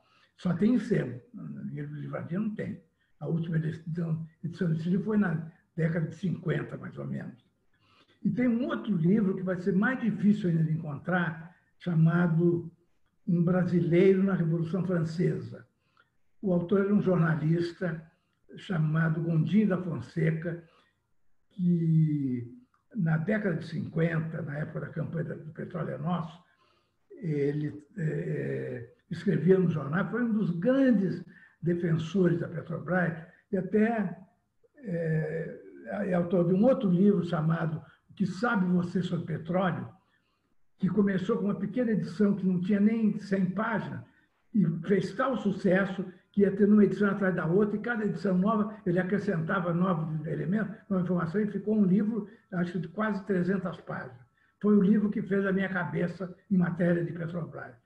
É, o que sabe você sobre petróleo. Mas nesse livro, um brasileiro da Revolução Francesa, ele conta uma história não oficial do Zé Bonifácio.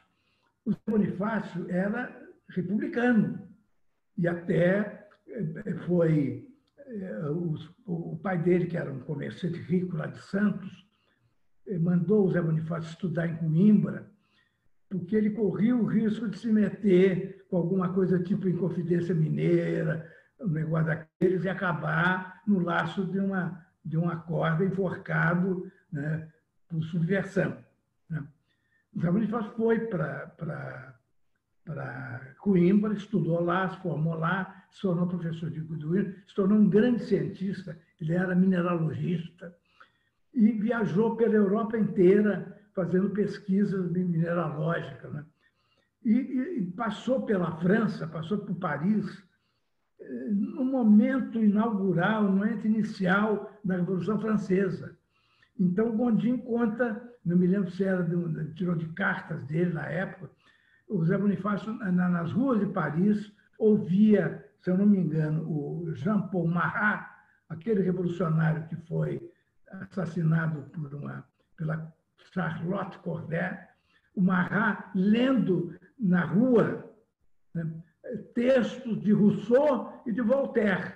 Então, as grandes admirações intelectuais de Zé Bonifácio eram Rousseau, defensor do princípio da igualdade, e Voltaire, defensor do princípio da liberdade.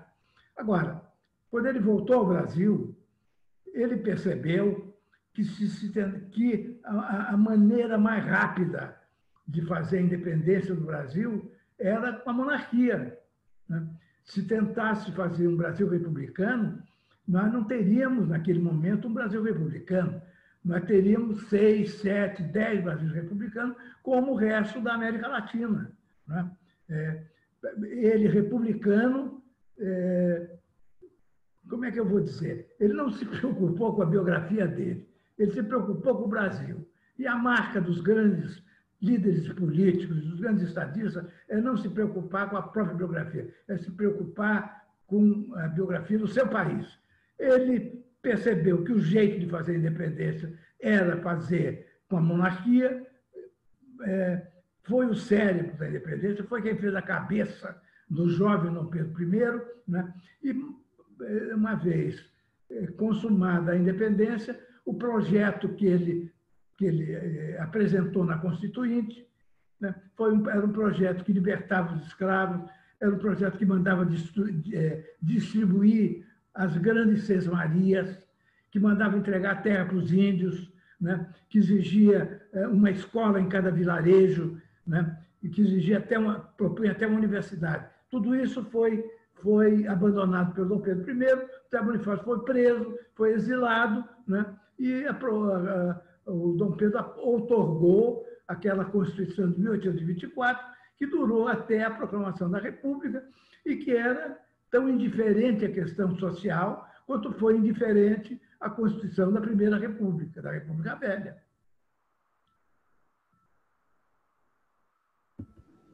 Lucas Nicolas. Boa noite, galera. Gostaria primeiro de agradecer ao professor José Augusto pela incrível aula. Isso é um absurdo do, da capacidade que o senhor tem de puxar tanto livro da memória. É uma coisa assim, ó, fora de série. E também gostaria de agradecer a, a, Estadual aí pela, pela oportunidade de ouvir essa aula. Professor, eu queria perguntar uma questão que para mim sempre foi muito controversa para Getúlio Vargas, é, quando a gente fala sobre Getúlio Vargas, né? Dentro dos ministros de Getúlio estava o ministro da Justiça, que era o Francisco Campos, que posteriormente veio a ter uma participação bem relevante no golpe de 64 contra Jango, né? Ele também teve uma participação muito relevante na formação e estruturação do nosso sistema de justiça criminal aqui é, do Brasil. É, quem tiver curiosidade, vai lá no fundo, lá do, no final do Código Penal e do Código de Processo Penal, vai ver lá a assinatura de, de Getúlio Vargas e embaixo de Francisco Campos, E eu queria saber se o senhor poderia falar um pouquinho de quem foi Francisco Campos e qual era a relação dele com Getúlio. Já, obrigado. Ah, olha, o Francisco Campos é, era um mineiro é, que foi indicado é, pelo governo de Minas para ser ministro da Educação. Talvez já fosse um homem de direita, mas o fato é que naquela época, na Revolução 30, tinha muita gente também de direita. Né? Aliás, teve gente de direita na Frente Parlamentar Nacionalista, que era basicamente de esquerda. Eu conheci, na época do governo Celino, o presidente da Frente Parlamentar Nacionalista, era um deputado chamado Bento Gonçalves, que era um homem de direita, mas nacionalista, como ainda hoje nacionalista de direita. O, o, o Campos tinha sido deputado e, pra, não digo para compensar, né? para poder é, dizer alguma coisa boa a respeito dele, ele foi deputado junto com Getúlio. É, em 1928, eles eram da mesma comissão, acho que era a Comissão de Finanças da Câmara. E o Francisco Campos fez um parecer que foi aprovado com o voto do Getúlio, com o voto do Getúlio, um parecer que pedia a anulação das concessões de minério de ferro feitas ao grupo Itabira Iron, que foi um grupo que prometeu fazer uma siderurgia no Brasil, conseguiu grandes concessões lá em Minas, o grupo da Itabira Iron, né? e depois não fez siderúrgica, nenhuma. O Campos é, foi o autor desse parecer que foi apoiado pelo Getúlio e foi aprovado por essa comissão. Então, o que eu posso dizer dele é isso. E tem mais uma coisa, ele como ministro do, do, do primeiro governo Vargas, é, ele foi, ele elaborou os decretos sobre petróleo que o Getúlio assinou em 1938. Um desses decretos criava o Conselho Nacional do Petróleo e outro decreto anulava todas as concessões a grupos privados feitas antes da Revolução de 30 em matéria de petróleo. Né? Aquelas concessões que lá na Amazônia, na Amazônia, por exemplo, dividiram a Amazonas em seis fatias, deram quatro das fatias eh, subsidiárias da Standard Oil e as outras duas a outras multinacionais. O Francisco Campos fez esse decreto, foi muito competente, ele era um jurista muito competente. Agora, de repente, quando chegou em 64, fez o AI-5. Né? Obrigado. Companheiro, estão perguntando aqui no chat pessoal ficou curioso e pediu para tu falar quem são os nacionalistas de direita que tu considera, se ainda existe algum vivo, e já aproveitar para passar a palavra para o Moisés, que é diretor da TV Comunitária do Rio. Uma honra de ter aqui com a gente. Explica o negócio dos nacionais de direita? Olha, na época eu me lembro do Bento Gonçalves, que era o presidente da Frente Parlamentar Nacionalista, mas havia outros, né? É, e recentemente, é, no Congresso, é, não sei se foi no Congresso anterior, ou, no Congresso retrasado, é, havia um senador chamado Mozarildo Cavalcante, não sei de que partido era, mas era um homem de direita. Né? Agora, o tempo inteiro protestando é, em defesa é, da Petrobras e do nacionalismo, até aquela coisa da Amazônia, né? Ah, houve denúncias de que certas ONGs eram, eram laranjas de grupos que queriam explorar minério em terras indígenas. Esse senador sempre foi contra isso. Toda hora estava falando. Tinha uma senadora do Mato Grosso, o Mato Grosso do Sul, chamada Ceris Schlesserenko, também não sei de que partido era, que tinha exatamente as mesmas posições. Né? Então, ah, ah, na época da Frente Parlamentar Nacionalista, a participação desses homens de direita ajudou muito. Não sei se participaram do golpe, mas é, na, na, Frente Parlamentar Nacionalista ajudaram muito. Então vamos ao, ao Moisés. Boa noite a todos e a todas. Eu quero saudar o evento é, da juventude do PDT de Santa Catarina, na figura da Luana Morales. É, dar uns parabéns a todos vocês, em particular aí a presidenta, que é, escolheu nenhuma pessoa poderia ser, na minha opinião, melhor do que o José Augusto Ribeiro para falar desse período do dia de hoje, falar de Getúlio Vargas. É, nós somos aqui da TV Comunitária do Rio de Janeiro que estamos tendo a satisfação de ter o é, José Augusto como comentarista aqui semanal da TV. Estreou hoje e eu mandei aí para o seu celular, Luana, para você divulgar aí para o pessoal. O primeiro comentário dele, é, que foi ao ar hoje às 8 horas e 20 minutos da noite. Às 20 e 20 foi ao ar o primeiro comentário do Zé Augusto na TV comunitária. Claro que ele já deu outras entrevistas à TV, mas como comentarista de olho no mundo é o comentário que José Augusto aceitou fazer é, na TV comunitária. É, José Augusto nos deu uma entrevista na sexta-feira, é, falando do dia de hoje, né, dia 24 de agosto, é, e também está disponível no nosso é, canal no, no YouTube. É, eu queria só falar o seguinte: a minha pergunta que eu tinha pensado aí durante a palestra do Zé Augusto era sobre a questão do monopólio midiático, mas alguém já perguntou e o Zé Augusto já falou um pouco sobre isso. Então eu queria é, perguntar, mudar um pouco, perguntar ao, ao Zé Augusto o seguinte: por que que derrubaram o Getúlio se ele já tinha planejado encerrar o Estado Novo? E só é, lembrar o pessoal que falou da cultura que o samba e a capoeira saíram é, do Código Penal pelas mãos de Getúlio Vargas. Obrigado. O Moisés, a Cor do Estado Novo,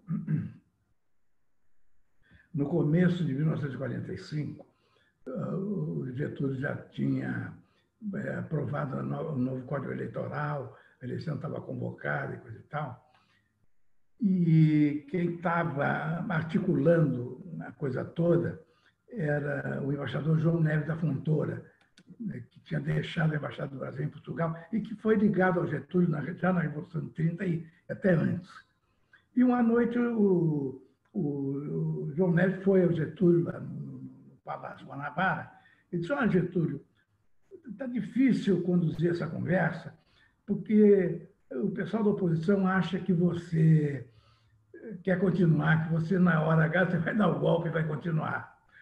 Aí o Getúlio disse assim, olha, Neves, se o problema é esse, você diz a eles que a hora que eles quiserem eu renuncio.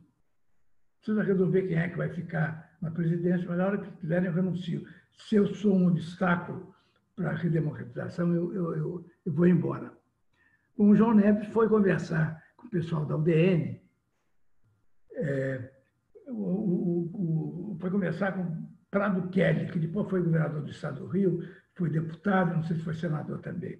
Era o, acho que era o presidente da UDN, mas era o cara que conduzia as conversas. E o Prado Kelly, antes de qualquer decisão política, ia conversar com o brigadeiro Eduardo Gomes, que era o candidato eh, de, oposição Getúlio às eleições que já estavam sendo convocadas. Aí o Prado-Quer foi conversar com o brigadeiro, voltou, procurou o João Neves, disse, olha, João, é, não, não vai dar, não. Ah, ah, o brigadeiro não tem, não quer que o Getúlio renuncie, porque, mas, mas não quer que o Getúlio renuncie, né? de fato, ele não quer que o Getúlio renuncie, porque se o Getúlio renunciar, quem vai agarrar a presidência é o general Góes Monteiro, que era o ministro da Guerra, e esse não sai nunca mais. Então, a UDN pediu, naquele momento, para o Getúlio ficar. Agora, quando chegou em outubro, eh, resolveu derrubar, houve um, alguns incidentes políticos, né? mas, sobretudo, porque ah, ah, ele já estava conduzindo o processo constituinte de modo a preservar as disposições de política econômica nacionalista que estavam em vigor sob a forma de lei ou até na Constituição de 1937. Tanto que, derrubado Getúlio, é, quem assumiu não foi o general Guai Monteiro. Quem assumiu foi o presidente do Supremo Tribunal, o ministro José Linhares. E a primeira decisão do governo do ministro José Linhares foi revogar a proibição estabelecida pelo Getúlio de, da entrega de, do setor de refino de petróleo a empresas multinacionais. A primeira decisão do governo que derrubou Getúlio foi permitir multinacionais na indústria do refino no Brasil. A mesma coisa que o Bolsonaro está fazendo agora.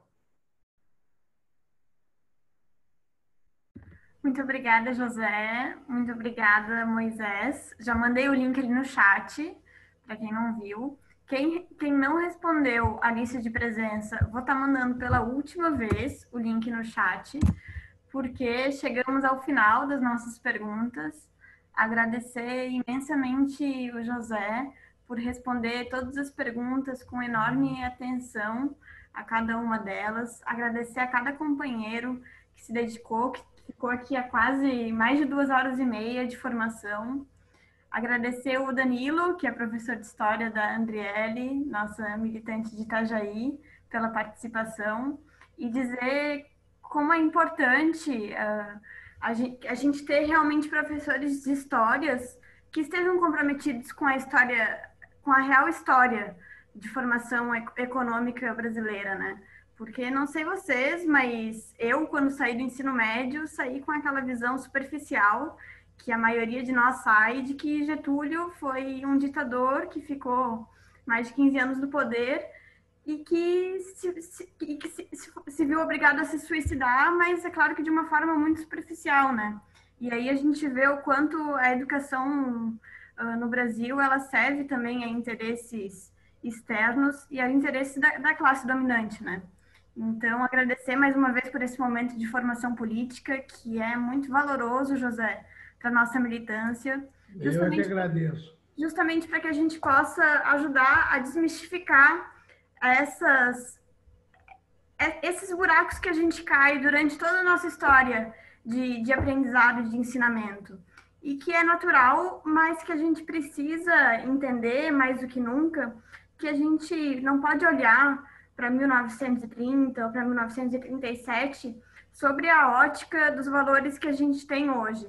A gente não pode cair na defesa de uma democracia sobre uma perspectiva individual e liberal. A gente precisa justamente desmistificar e ter muito, muita certeza e muita firmeza do nosso projeto e do, no, e do que a gente defende, porque a nossa defesa ela precisa ser de um projeto com um conteúdo de classe porque aqui a gente quer construir um Brasil soberano e um Brasil mais justo para que a gente consiga eh, submeter uma, uma classe sobre a outra. E aqui a gente está falando para que a classe mais humilde, que hoje vive uma miséria tremenda por causa da desigualdade brasileira, não tenha mais essas condições e para que sim, a gente não tenha mais uma classe de 1% mais rico que detém a maioria das, das, das riquezas nacionais. Então, é para isso que a gente precisa ter muita clareza no, no, no, do nosso projeto. E a gente não pode vacilar em momento nenhum, porque uh, grande parte do nosso campo cai nessas mistificações.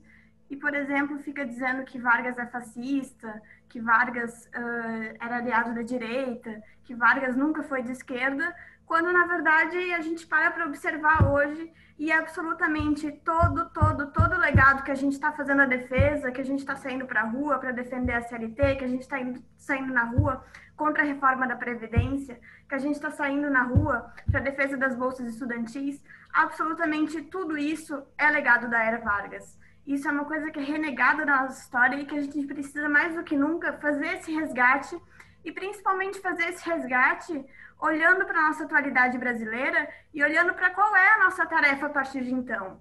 Nós estamos militando em uma organização, nós estamos filiados ao PDT, nós estamos militando na Juventude Socialista do PDT. E por que, que a gente preparou essa aula de formação política para ficar aqui quase três horas discutindo com vocês, tendo essa baita dessa aula com José Augusto, lendo a Carta Testamento, que é um documento belíssimo do qual a gente se inspira, no qual a gente tem uma vontade de chorar quando a gente lê, que naturalmente era uma carta extremamente emocionada. Mas qual é o recado que Vargas quer nos deixar com aquela carta extremamente emocionada? Naquela carta, nas entrelinhas daquela carta, estava expresso o Brasil que Vargas sonhou e o Brasil que Vargas deu a sua vida por ele. E é por esse Brasil que a gente precisa lutar e é por isso que eu tenho a certeza de que nós estamos no caminho certo e que a gente também tem que se doar nem um tisquinho a menos do que Vargas se doou e do que todos os nossos líderes se doaram. Então, obrigada, José.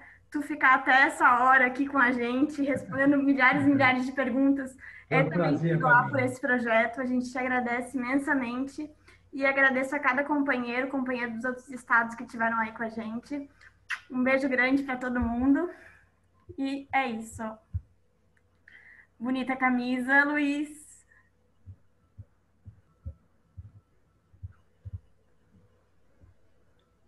Beijo, gente.